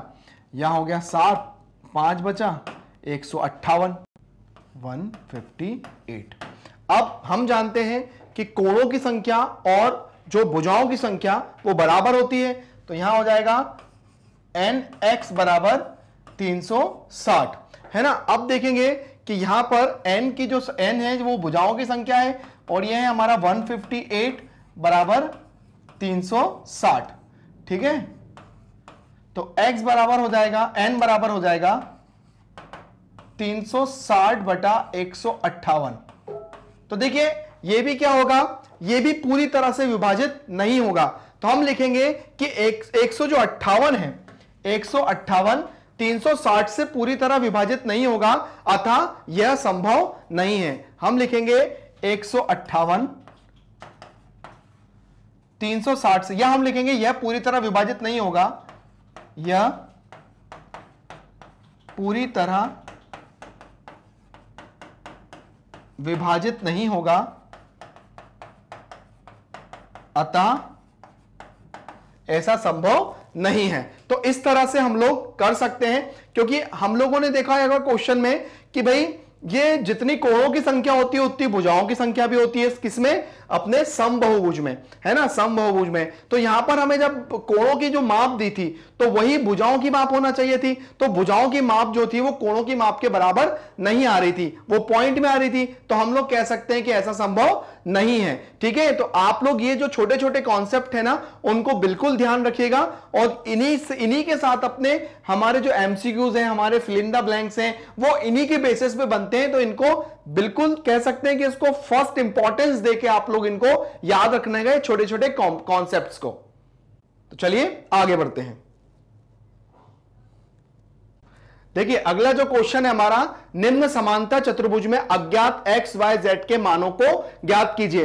तो ध्यान रखिएगा अगर आप मेरे थोड़े वीडियो को पीछे करके देखेंगे तो उसमें मैंने क्या करा है ए, अपना जो समानता चतुर्भुज के जितने भी नियम होते हैं मतलब चतुर्भुजों के जितने भी नियम होते हैं वो सारे नियम मैंने समझाए हैं और उस नियम में एक समानता चतुर्भुज है और समानता चतुर्भुज के भी क्या नियम होते हैं कि उसकी सम्मुख भुजाएँ बराबर और समांतर होती है और सम्मुख कोण भी क्या होते हैं बराबर होते हैं। बिल्कुल सही कहा कि भाई समांतर चतुर्भुज की सम्मुख भुजाएँ और सम्मुख कोण क्या होते हैं? वो बराबर होते हैं। तो देखिए यहाँ पर हमें एंगल जो बी है, वो क्या दिया हुआ है? एंगल बी बराबर एंगल वाई के क्यों हो जाएगा? क्योंकि ये इसका सम्मुख कोण है। आया बात समझ में? तो क्या हो जाएगा कि यहाँ पर हम जानते हैं कि एंगल बी कितना दिया है मुझे? 100 दिया है। तो हम जानते हैं कि एंगल बी बराबर एंगल डी क्यों हुआ? क्योंकि समांतर चतुर्भुज के सम्मुख कोण बराबर होते हैं। या हम लिखेंगे सम्मुख कोण सम्मुख कोण बराबर होते हैं। ठीक है? बराबर होते हैं। तो अब देखिए, यहाँ पर क्या हो गया? यहाँ पर हमें एंगल y की वैल्यू क्या मिल गई? एंगल y की वैल्यू 100 मिल गई। बिना किसी संकोच के लिख दो कि हाँ भाई एंगल y की वैल्यू 100 अब उसके बाद हमें क्या निकालना है? हमें निकालना है एंगल एक्स की वैल्यू तो देखिए, अगर मैं इसको मानू कि ये एक समांतर रेखा है और ये भी एक समांतर रेखा है, इसको मैं मान लू एल और इसको मान लू एम और अगर उसको एक त्रियक रेखा काटती है तो उसके बनने वाले दोनों अंतः कोण जो ये भी अंतः कोण है, ये भी अंतः कोण है मतलब एक ही तरफ़, है ना? एक ही तरफ़ बनने वाले जो कोण होते हैं, उनका जो मान होता है, वो 180 डिग्री होता है। मतलब ये जो दोनों लाइन है और ये समांतर भी तभी कहलाती है कि अगर कोई तिरक रेखा काट रही है और उनको उनके जो ए, एक ही दिशा में बनने वाले जो कोणों का जो योग है 180 डिग्री होता है तो रेखाएँ क्या होती है? समांतर होती है। तो यहाँ पर क्या हो जाएगा? x प्लस हंड्रेड बराबर 180 ठीक है? तो x बराबर कितना हो जाएगा? 180 माइनस हंड्रेड। तो x बराबर कितना हो जाएगा? 80 तो देखा यहाँ पर x का मान कितना आ गया? x का मान यहाँ पर हो गया 80 अब देखिए कि यहाँ पर x के सम्मुख क्या था? x के सम्मुख z था। तो हम लोग लिखेंगे कि x बराबर z एंगल x बराबर z क्यों? क्योंकि ये क्या है? सम्मुख कोण है। हम भी यहाँ लिखेंगे सम्मुख कोण सम्मुख कोण। ठीक है? सम्मुख कोण से क्या होता है कि x की जो वैल्यू होगी वही z की वैल्यू होगी तो z भी कितना हो जाएगा? z भी हमारा यहाँ पर हो जाएगा 80 तो बहुत आसानी से हमने इसको करा और तीनों कोणों को हमने निकाला जो हमसे पूछा था कि x, y, z के मानों को निकालिए। तो हमने देखिए किस तरह से x, y, z के मानों को हमने निकाला और उसके बाद हमने उसकी डेफिनेशन के अकॉर्डिंग काम किया। मतलब डेफिनेशन क्या कहती है कि भाई सम्मुख कोण सम्मुख भुजाएँ क्या होती है? बराबर होती है किसकी? समानता चतुर्भुज की। तो देखिए, ये अगर 80 था तो ये भी 80 हो गया, ये 100 था तो ये भी 100 हो गया। तो देखो, सम्मुख कोण बराबर हो गए ना? सम्मुख कोण बराबर। और अगर मैं दोनों लाइन का मल्टीप्लाई करूँ तो ये भी 180 हो जाएगा और ये भी दोनों 180 हो जाएगा। मतलब एक ही रेखा के एक ही रेखा पर बनने वाले एक ही दिशा में जो कोण होते हैं, वो क्या हो जाते हैं? 180 तो यह भी हमारा हो गया। तो देखिए किस तरह से हमने अपने क्वेश्चन को सॉल्व किया और हमने एक्स वाई जेड की वैल्यू निकाली। आप भी इस तरह से क्वेश्चन अगर आता है तो उसको सॉल्व करके अपना आंसर निकाल सकते हैं। अपने अपने अगले क्वेश्चन की तरफ़ जाते हैं हम। अगला क्वेश्चन है निम्न समानता चतुर्भुज में अज्ञात एक्स वाई जेड के मानों को ज्ञात कीजिए। देखिए ये भी इसी तरह का क्वेश्चन है जो हमने इसके पहले जस्ट किया था। ये भी उसी तरह का क्वेश्चन है। बस इसके अंदर हमें एक नई चीज़ें सीख एक नई चीज़ सीखने को मिलेगी। वो मैं बताऊँगा जब हम अपने क्वेश्चन को सॉल्व करेंगे। तो देखिए सबसे पहले हमको बिना बिना देखे दे, नहीं बिना देखे तो नहीं बोल सकते पर देख के हम लोग ये बोल सकते हैं कि यहाँ पर आपका ये जो y है और ये 112 है, ये आपस में इक्वल हो जाएगा। क्यों हो जाएगा? ये आप बहुत अच्छे से जानते हैं, क्योंकि y बराबर 112 क्यों हो जाएगा 112 क्योंकि ये क्या है? सम्मुख कोण है। क्या है ये? सम्मुख कोण। ठीक है? हम जानते हैं कि समांतर चतुर्भुज के सम्मुख कोण आपस में बराबर होते हैं, इसलिए ये 112 हो गया। अब क्या दिया था? देखिए, यहाँ पर आपको, यहाँ पर आपको क्या दिख रहा है एक? यहाँ पर आपको एक ट्राइंगल नज़र आ रहा होगा। देखिए, ये 112 है तो ये भी 112 हो गया। ठीक है, अब आपको एक त्रिभुज दिख रहा होगा, एक ये ये, और यहाँ पे आपको एक त्रिभुज दिख रहा होगा। और हम जानते हैं कि त्रिभुज के तीनों कोणों का को योग क्या होता है? 180 होता है। तो हम लिख भी सकते हैं इसको कि हम जानते हैं, हम जानते हैं कि त्रिभुज के तीनों कोणों का योग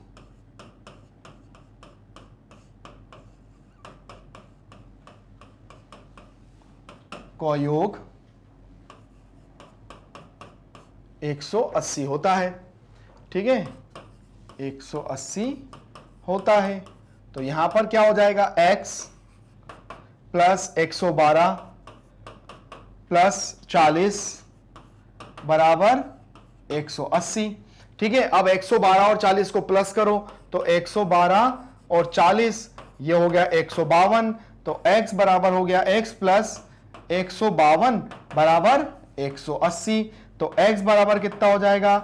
180 माइनस एक ठीक है? ये हमने कर लिया। अब देखिए, x का मान क्या निकल के आया?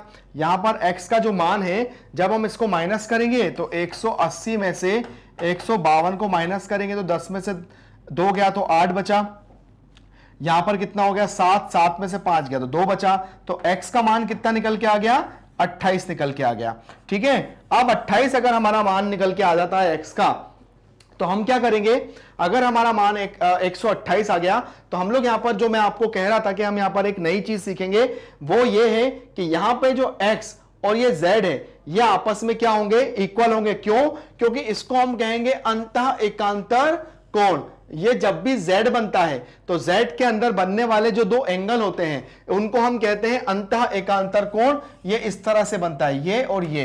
तो ये जो कोण होते हैं, वो आपस में क्या हो जाते हैं? बराबर हो जाते हैं। तो हम यहाँ पर लिखेंगे कि x बराबर z, x बराबर z क्यों हुआ? हम लिखेंगे अंत अंत एकांतर अंत एकांतर कोण? ठीक है, ये हमने लिख दिया अंत एकांतर कोण। अब उसके बाद क्या हो जाएगा? Z की वैल्यू भी क्या हो जाएगी? 28 हो जाएगी। तो हम लोगों ने जो इन लोग जो क्वेश्चन में हमने हमसे बोला था कि x, y, z के मानों की ज्ञात कीजिए तो यहाँ पर x का मान z का मान और y का मान बहुत आसानी से निकल गया। यहाँ पर x का मान और z का मान हो गया 28 और जो हमारा y का मान था वो तो हमने बहुत आसानी से निकाल लिया था क्योंकि सम्मुख कोण था वो आ गया 112 तो देखिए हमने किस तरह से कितने आसानी से अपने क्वेश्चन को सॉल्व किया। अब हम अपने अगले क्वेश्चन की तरफ़ बढ़ते हैं। जो कि दिया हुआ है कि किसी समांतर चतुर्भुज के दो आसन्न कोणों का अनुपात, तीन अनुपात दो है तो समांतर चतुर्भुज के सभी कोणों की माप ज्ञात कीजिए। तो सबसे पहले मैं आपको बताता हूँ, ये आसन्न कोण क्या होते हैं कि इसका जब मैंने एक स्टार्टिंग में इंट्रोडक्शन वीडियो जब बनाया था तो मैंने आसन्न कोण के बारे में भी समझाया था, लेकिन मैं फिर भी एक बार आपको बता देता हूँ। जैसे मान के चलिए, ये आपका एक समांतर चतुर्भुज है, और समांतर चतुर्भुज में ये वाला कोण, ये वाला कोण ए एंगल बी ये दोनों कोण क्या कहलाते हैं? आसन्न कोण कहलाते हैं। मतलब जब हम यहाँ से चलते हैं, जो पहला कोण आता है, वो उसका आसन्न कोण होता है। यहाँ से जब चलेंगे तो ये कोण, यहाँ से जब चलेंगे तो ये कोण तो सी और डी मतलब ए और बी यहाँ पर क्या है आपके? आसन्न कोण है। तो मुझे बोला है कि आसन्न कोण अगर तीन अनुपात दो हैं तो समानता चतुर्भुज के सभी कोणों की माप ज्ञात कीजिए। तो मैं यहाँ लिखूँगा, माना माना समांतर माना समांतर चतुर्भुज, माना समांतर चतुर्भुज के दो आसन्न कोण, दो आसन्न कोण क्रमशः, दो आसन्न कोण क्रमशः क्या हो जाएँगे? 3x और 2x है। तो यहाँ पे भी लिख लूँगा 3x और यहाँ लिख लूँगा मैं 2x अब क्या है? हम जानते हैं कि अगर यहाँ पर AD और BC AB और CB यहाँ पर दो समांतर रेखाएँ हैं। ये दो समांतर रेखाएँ, ठीक है? अगर इसको कोई त्रियक रेखा अगर काटती है तो उसकी भुजा के एक ही तरफ़ बनने वाले जो कोण होते हैं, है ना? अंत एक ही भुजा पर, एक ही दिशा में बनने वाले जो कोणों का जो योग होता है, वो 180 होता है। ये मुझे पता होना चाहिए।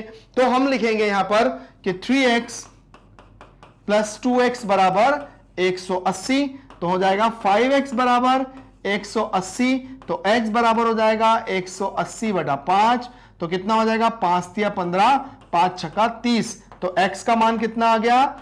36 आ गया। अब x का मान 36 आ गया तो मुझे बोला था कि बाकी के कोणों को भी ज्ञात कीजिए। तो angle A angle A angle A मतलब कितना हो जाएगा? 3x तो मतलब कितना हो जाएगा? 3 इंटू थर्टी और एंगल बी एंगल बी कितना था? 2x मतलब 2 इंटू थर्टी ठीक है? तो छह तिया अट्ठारह अट्ठारह किया, हासिल का एक, तीन तिया नौ और एक दस, एक सौ आठ। वैसे ही छह दुनी बारह बारह की दो हासिल का एक, दो तिया छह और एक सात, बहत्तर। तो देखिए, ये 108 है, ये 108 है। तो ये भी 108 होगा। और अगर ये अगर बहत्तर है तो ये भी क्या होगा? बहत्तर होगा। क्यों? क्योंकि यहाँ पर बी, ए और सी सम्मुख कोण है और बी और डी भी सम्मुख कोण है। तो हम यहाँ लिखेंगे एंगल ए बराबर, एंगल ए बराबर एंगल सी जो कि आ गया 108 और एंगल बी बराबर एंगल डी जो कि आ गया बहत्तर डिग्री। हम बोलेंगे सम्मुख भुजाएँ बराबर होती हैं। सम्मुख भुजाएँ या सम्मुख कोण? समानता चतुर्भुज है तो सम्मुख कोण और सम्मुख भुजाएँ बराबर होती है? तो इस तरह से हमने अपने क्वेश्चन को सॉल्व किया और सॉल्व करने के बाद जो बोला था, वो हमने करके दिखाया। तो बहुत आसान है, आप लोग भी करिए इस तरह के जितने भी क्वेश्चन आते हैं, उनको सॉल्व करिए ताकि आपको भी एक आइडिया हो जाए कि भाई इन क्वेश्चनों को करने का तरीका क्या है। तो चलिए हमारे अगले क्वेश्चन की तरफ़ बढ़ते हैं। हमें दिया है निम्न आकृतियाँ, एक तो गंस और एक रंस यहाँ पर हमें दो आकृतियाँ दी हुई हैं। अब बोला है कि समानता चतुर्भुज एक्स और वाई ज्ञात कीजिए। देखिए, हमें सबसे पहले यह पता होना चाहिए कि यहाँ पर अभी एक समानता चतुर्भुज का पूरा एक हमारा लेसन चल रहा है, एक टॉपिक चल रहा है। तो हमें समानता चतुर्भुज के बारे में सारी चीज़ें पता होना चाहिए। मैं जैसे बार बार बता रहा हूँ, पहला क्या होता है? समानता चतुर्भुज की सम्मुख भुजाएँ बराबर होती हैं, सम्मुख कोण बराबर होते हैं। समानता चतुर्भुज के सम्मुख भुजाएँ समांतर भी होती है, ध्यान रखिएगा। ठीक है? तो ये जो है ये कोण और ये कोण आपस में बराबर होता है, ये कोण और ये कोण आपस में बराबर होता है। उसके बाद जो सम्मुख भुजाएँ होती है ना, ये वाली भुजा, ये वाली भुजा के बराबर होगी और ये वाली भुजा, ये वाली भुजा के बराबर होगी। तो अब हम लोग लिखेंगे पहला समांतर चतुर्भुज के नियम से। क्या लिखेंगे? समांतर चतुर्भुज के नियम से। समांतर चतुर्भुज के नियम से। है ना? सम्मुख भुजाएँ बराबर होती हैं। सम्मुख भुजाएँ बराबर होती हैं।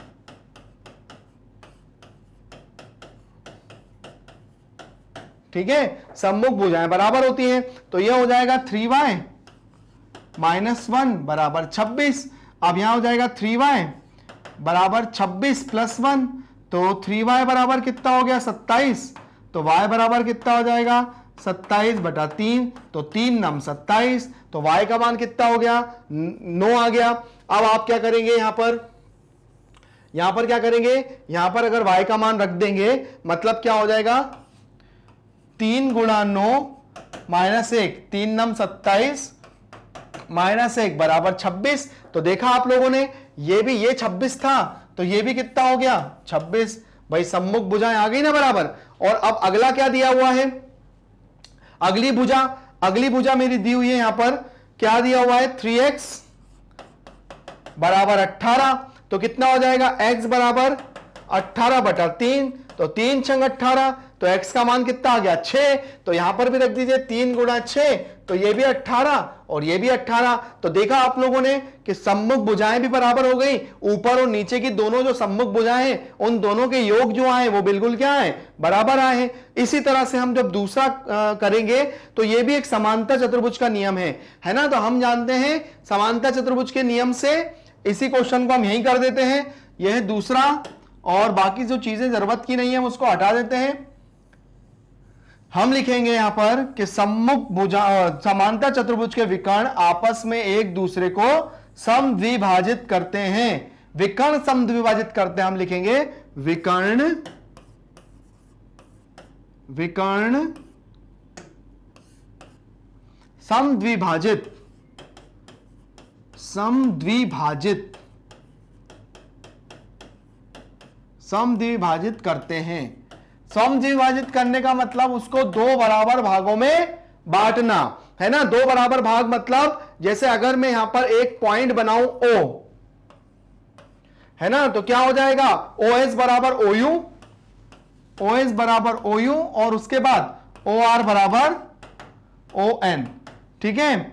अब उसके बाद जैसे मान के चलिए, ये दिया था y प्लस सेवन बराबर बीस। तो y बराबर कितना हो जाएगा? बीस माइनस सात। तो y बराबर कितना हो गया? तेरह। ठीक है? अगर मैं यहाँ पर y का मान रखता हूँ, तेरह। तो तेरह प्लस सात, बीस हो जाएगा? तो ये भी बीस और ये भी बीस। हो जाएगा कि नहीं हो जाएगा? और उसके बाद एक और दिया है, यहाँ पर 16 बराबर एक्स प्लस वाई अगर y का मान 13 आया है और y का मान यहाँ रखता हूँ तो 16 बराबर एक्स प्लस तेरह। तो 16 माइनस तेरह बराबर x तो x का मान आ गया तीन। अब उसके बाद अगर मैं ये वहाँ पे यहाँ पे रखता हूँ मतलब यहाँ पर y का मान कितना था? तेरह। और इसका मान हो गया तीन तो तेरह और तीन, सोलह। तो देखा आप लोगों ने, आपस में एक दूसरे को समद्वित करना मतलब दो बराबर भागों में बांटना। तो देखो, दोनों विकर्ण की जो लंबाई थी, वो भी आपस में क्या हो गई? बराबर बराबर आ गई। तो इस तरह से हमारा ये वाला क्वेश्चन भी सॉल्व हुआ। बट ध्यान रखना रिमेंबर कि वेन एवर यू स्टडी आपको हमेशा रूल्स रेगुलेशन समानता, चतुर्भुज के याद होना चाहिए, तभी ये क्वेश्चन अच्छे से सॉल्व होंगे, नहीं तो अगर आपको उनकी प्रॉपर्टीज़ ढंग से याद नहीं है तो हम लोग याद करने में और सवाल को करने में हमें परेशानी होगी। चलिए अपने अगले क्वेश्चन की तरफ़ आगे बढ़ते हैं। हमारा अगला क्वेश्चन जो दिया है, यदि दी गई आकृति में, है ना रिस्क एक रिस्क और क्लू दोनों समानता चतुर्भुज हैं। यहाँ पर एक्स का मान ज्ञात करना है। देखिए, अगर मैं इसको समझूं तो ये हमारा एक समानता चतुर्भुज है, ये वाला और ये वाला। ये हमारा एक समानता चतुर्भुज है और ये भी एक समानता चतुर्भुज है। ठीक है, अब इस समानता चतुर्भुज आप क्या करना है? एक्स का मान ज्ञात करने के लिए मुझे ये वाला और ये वाला अगर मुझे पता पड़ जाए तो मैं बहुत आसानी से सॉल्व कर सकता हूँ। देखिए हमें एक समानता चतुर्भुज, देखिए सबसे पहले अगर मैं बात करता हूँ तो हमें एक तो अपने आप ही पता हो गया। ये अगर सत्तर है तो ये भी अपने आप क्या हो जाएगा? सत्तर हो जाएगा। क्यों हो जाएगा? क्योंकि समानता चतुर्भुज के सम्मुख कोण क्या होते हैं? आपस में बराबर होते हैं, है ना? अब सबसे पहले क्या करते हैं, मैं जाता हूँ त्रिभुज। सबसे पहले मैं बात करता हूँ रिस्क में। ठीक है? अब अगर मुझे इसको निकालना है तो सबसे पहले मुझे ये वाला कोण निकालना पड़ेगा। तो आपने देखा होगा, मैं बार बार वही रूल्स रेगुलेशन बता रहा हूँ कि ये लाइन अगर ये लाइन अगर इसको कोई त्रियक रेखा काटती है तो बनने वाले जो कोण होते हैं इसमें, एक ही दिशा पे बनने वाले कोणों का जो मान होता है, वो 180 डिग्री होता है। तो कितना हो जाएगा? यहाँ पर 120 प्लस आप इसको ले लो, यहाँ पर आप इसको ले लो एक्स ले लो, ठीक है? तो x बराबर 180 तो यहाँ पर हो जाएगा x बराबर 180 माइनस 180 माइनस 120 तो x बराबर कितना हो गया?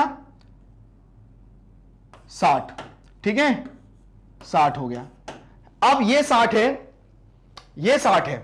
कितना हो गया ये? 60 निकाल दिया मैंने। दिख रहा है आपको अच्छे से?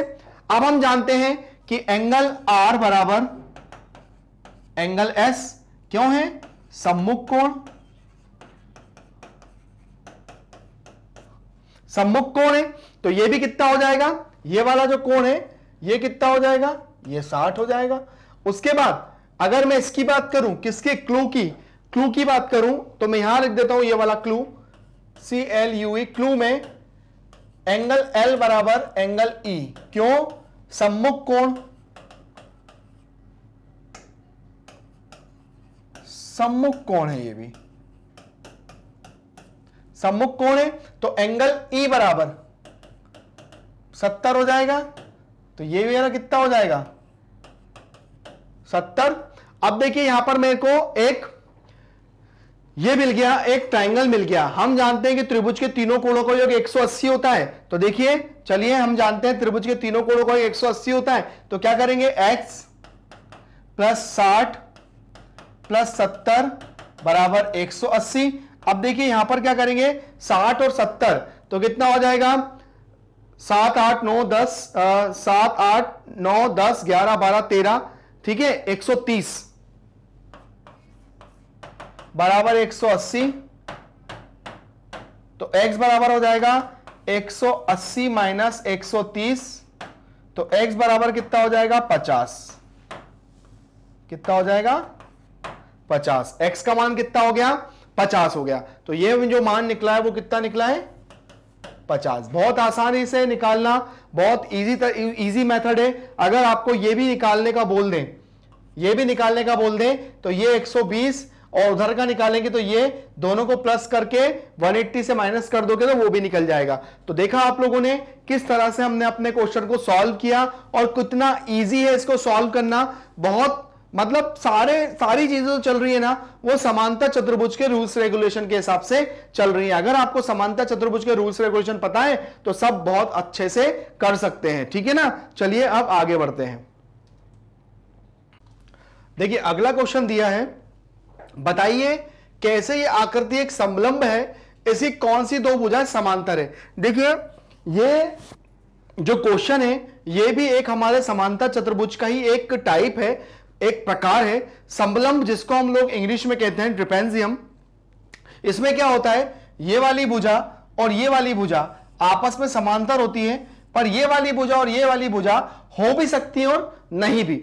है ना? हमें, हम जानते हैं, सबसे पहले मैं आपको एक रूल बताता हूँ, क्या होता है कि अगर दो समांतर रेखाएँ, अगर दो समांतर रेखाएँ आपस में एक दूसरे के समांतर तभी होती हैं कि जब कोई त्रियक रेखा अगर इसको आके काटती है ठीक है? तो इसके बन, बनने वाले जो कोण होते हैं जो एक ही दिशा में बनते हैं उनका योग क्या होता है? 180 होता है। यह है हमारा L और यह है M है ना? और ये त्रियक रेखाएँ मान के चलो कोई ए तो क्या होगा कि ये दोनों रेखाएँ समांतर तभी कहलाती हैं जब कि अगर इन दो समांतर रेखाओं को अगर कोई त्रियक रेखा काटती है तो उनके अंतः कोण जो होते हैं, जो एक ही दिशा में होते हैं, उनका जो योग होता है, वो क्या होता है? 180 होता है। तो ये क्या होती है? समांतर रेखा होती है। तो ये तो हो गया एक रूल। उसके बाद यहाँ पर हम देखेंगे कि यहाँ पर एम एन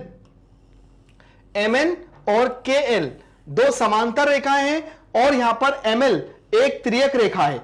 ठीक है? जो उसको काट रही है। तो इनके अंदर बनने वाला जो ये अंत कोण एक ही दिशा पे बनने वाले जो अंत कोण है, उनका जो योग अगर मैं करता हूँ तो 100 प्लस अस्सी, बराबर कितना हो रहा है?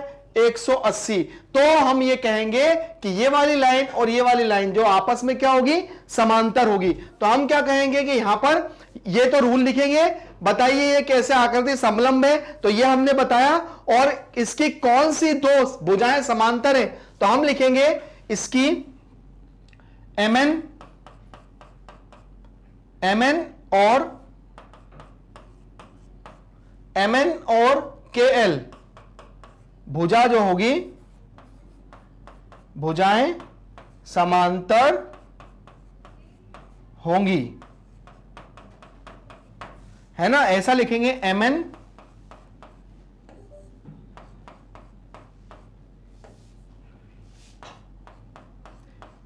एम एन समांतर के एल ऐसा लिख देंगे। आया समझ में?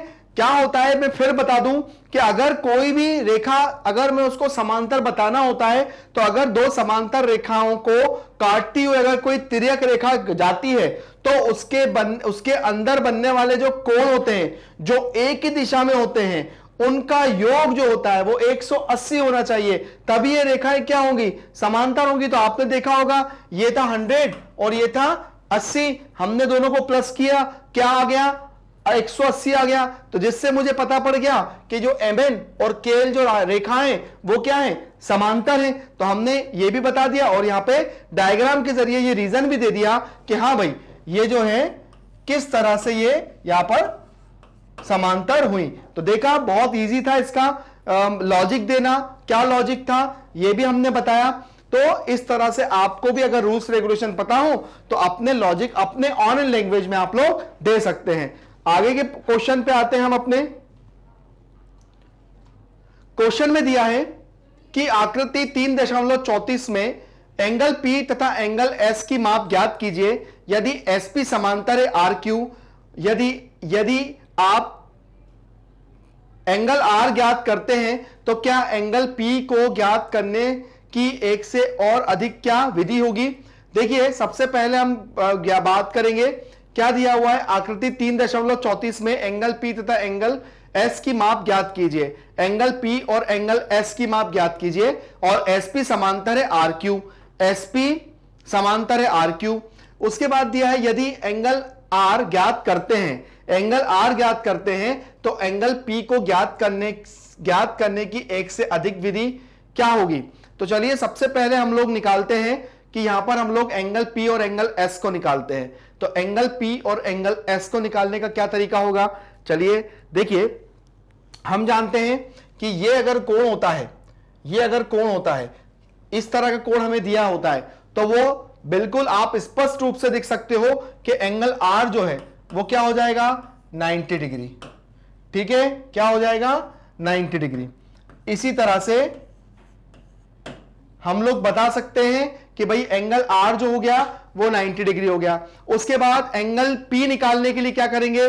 देखिए, यहाँ पर एंगल पी निकालने के लिए अगर मैं बात करूँगा तो ये जो है एंगल पी तो देखो, आपने देखा होगा कि ये आर क्यू और एस पी ये दो रेखाएँ हैं, समांतर। इसको एक त्रियक रेखा काट रही है ये। तो उसके अंत एकांतर कोण जो है उसके मतलब अंत, इसके अंत, अंदर जो बनने वाले जो कोण हैं वो एक ही दिशा में हो रहे हैं। तो उनका योग कितना होता है? 180 होता है। तो हम लोग यहाँ पे क्या लिखेंगे कि एंगल P और angle Q angle P plus angle Q बराबर 180 ठीक है? तो एंगल P कितना था? नहीं पता। एंगल Q 130 बराबर 180 तो एंगल P बराबर हो जाएगा 180 माइनस 130 तो एंगल P कितना हो जाएगा? 50 ये हो गया एंगल P 50 ठीक है? सेम प्रोसेस अगर हम इसके साथ करेंगे सेम प्रोसेस अगर हम इसके साथ करेंगे तो एंगल एस भी कितना हो जाएगा? 90 हो जाएगा। ये 90 ये 90 और ये 130 अब मुझसे बोला है क्या एंगल पी को ज्ञात करने की कोई और विधि भी हो सकती है? तो एंगल पी को ज्ञात करने की और विधि हो सकती है कैसे? देखिए, हम जानते हैं कि चतुर्भुज के चारों कोणों का योग कितना होता है? 360 होता है। तो हम लिखेंगे यहाँ पर angle P plus angle Q plus angle R plus angle S बराबर 360 ठीक है? एंगल पी हमें नहीं पता। Angle Q 90 angle Q 130 angle R 90 angle S 90 बराबर 360 ठीक है? अब क्या करेंगे? यहाँ पर हम लोग क्या कर लेंगे? 180 और 130 180 और 130 देखो, क्यों? नौ नौ अट्ठारह और 130 तो है ना? तो ये हो जाएगा आठ और तीन ग्यारह। ठीक है? ग्यारह की एक हासिल का एक 310 तो एंगल P बराबर कितना हो गया? एंगल P प्लस तीन सौ दस बराबर 360 तो एंगल P बराबर हो जाएगा 360 माइनस 310 तो एंगल P बराबर हो जाएगा 50 हम लिखेंगे हाँ। हम कह सकते हैं कि एंगल P को निकालने की दूसरी विधि भी हो सकती है। क्या लिखेंगे? हाँ, एंगल पी को निकालने की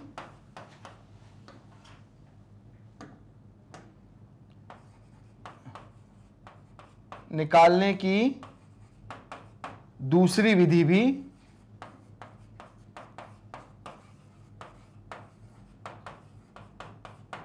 हो सकती है।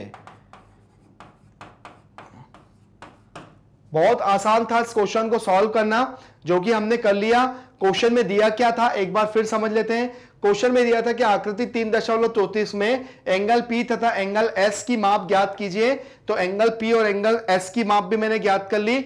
यदि एंगल अगर एस पी समांतर है आर क्यू के एस पी एस पी समांतर है आर क्यू के तो आर ज्ञात कीजिए एंगल आर और एंगल पी को ज्ञात करने की एक से अधिक विधि है।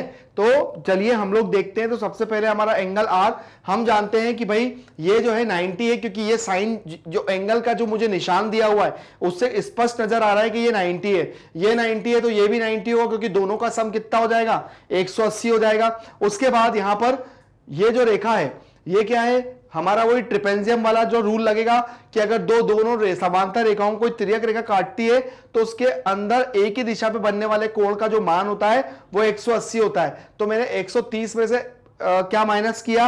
180 को तो 50 हो गया।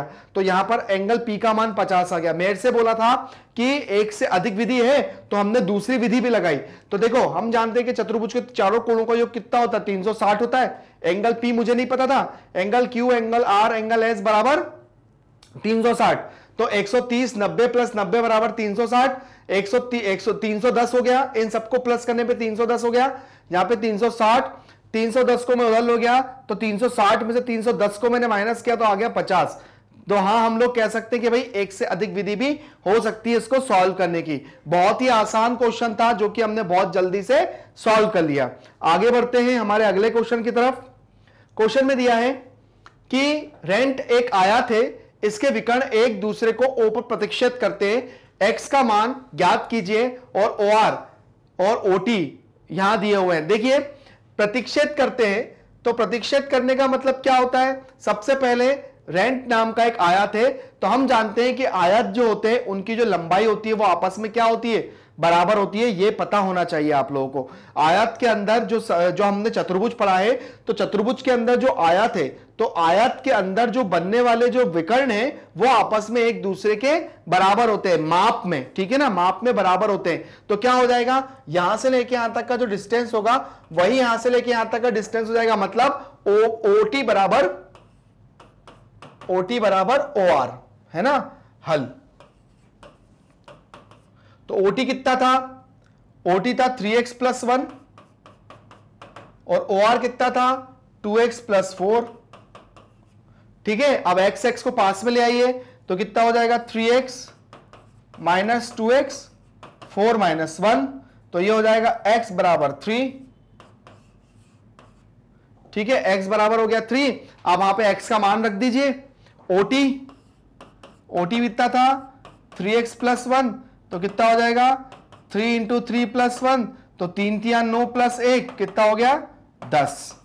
ऐसे निकालेंगे ओ आर ओ आर निकालते हैं तो ओ आर क्या हो जाएगा?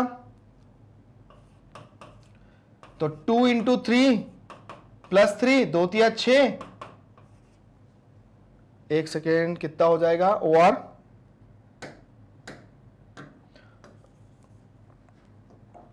ओ आर था टू एक्स प्लस फोर तो हो जाएगा two into three plus four तो सिक्स प्लस फोर बराबर टेन। ठीक है? तो ये भी टेन और ये भी टेन। दोनों की माप बराबर आ गई तो ये ये भी कितना हो गया टेन और ये भी कितना हो गया टेन। आया समझ में? बहुत इजी था।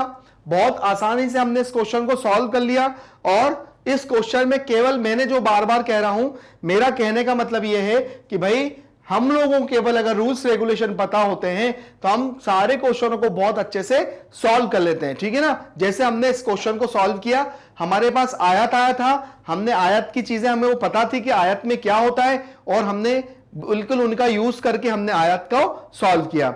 चलिए हमारे अगले क्वेश्चन की तरफ़ बढ़ते हैं। अगला क्वेश्चन जो दिया है, वो दिया है, बताइए कैसे एक वर्ग? एक वर्ग एक चतुर्भुज है, एक समानता चतुर्भुज है एक सम्मुख एक सम शत्रुभुज है और एक आयात है। तो सबसे पहले मैं बताता हूँ कि आ, सबसे पहले क्या है? वर्ग। वर्ग क्या होता है? यह होता है वर्ग। ठीक है? यह होता है वर्ग। तो वर्ग की विशेषता क्या होती है? पहले तो मैं बता दूँ कि वर्ग जो होता है वर्ग जो होता है उसकी चारों भुजाएँ क्या होती हैं? बराबर होती हैं। पहला तो ये ठीक है? उसके बाद और इसका प्रत्येक कोण 90 डिग्री का भी होता है। दूसरी बात, वर्ग एक जो है, एक सम चतुर्भुज भी है। क्यों? क्योंकि इसके अंदर बनने वाले जो कोण होते हैं, इसके अंदर बनने वाले जो कोण होते हैं, इसके अंदर बनने वाली जो, इसके अंदर जो भुजाएँ होती हैं तो कोणों की संख्या और भुजाओं की संख्या क्या होती है? बराबर होती है है ना? जैसे एक सम चतुर्भुज में भी होती है, ठीक है? समानता चतुर्भुज है तो समानता चतुर्भुज में क्या होता है? समानता चतुर्भुज की परिभाषा क्या होती है? कि भाई आ, इसकी सम्मुख कोण कोण क्या होते हैं? बराबर होते हैं। तो इसमें भी सम्मुख कोण बराबर होते हैं। ये 90 है तो ये भी 90 होगा ये 90 है तो ये भी 90 होगा। सम्मुख भुजाएँ बराबर होती हैं तो ये भी, ये भुजा ये भुजा के बराबर है, ये भुजा ये भुजा के बराबर है। उसके बाद आयात में भी क्या होता है? प्रत्येक कोण 90 का होता है, ईच कोण तो इसके अंदर भी ईच कोण 90 का होता है। तो इस तरह से हम बता सकते हैं कि हमारा एक वर्ग जो है, वो हमारा एक समानता चतुर्भुज भी है, एक सम चतुर्भुज भी है और एक आयात भी है। तो देखा आप लोगों ने, हमें अगर समानता चतुर्भुज की सारी परिभाषाएँ पता है तो देखो समानता चतुर्भुज क्या? सबसे पहले हम समानता चतुर्भुज की बात करते हैं। तो समानता चतुर्भुज क्या होता है? सम्मुख कोण और सम्मुख भुजाएँ बराबर होती है। तो वर्ग में भी सम्मुख कोण और सम्मुख भुजाएँ बराबर होती हैं। तो यह समानता चतुर्भुज का को इसने बता दिया?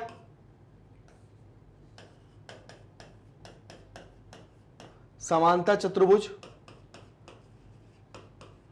उसके बाद बोला है सम चतुर्भुज तो सम चतुर्भुज में क्या होता है? सम चतुर्भुज में क्या होता है? सभी भुजाएँ और सभी कोण आपस में बराबर होते हैं और लंब आपस में एक दूसरे को समद्विभाजित करते हैं। तो विकर्ण तो इसके भी विकर्ण आपस में एक दूसरे को क्या करते हैं? समद्विभाजित करते हैं। मतलब लंब समद्विभाजित करते हैं। मतलब प्रत्येक कोण जो है वो 90 डिग्री का होता है। ठीक है लंब। ठीक है? उसके बाद क्या है?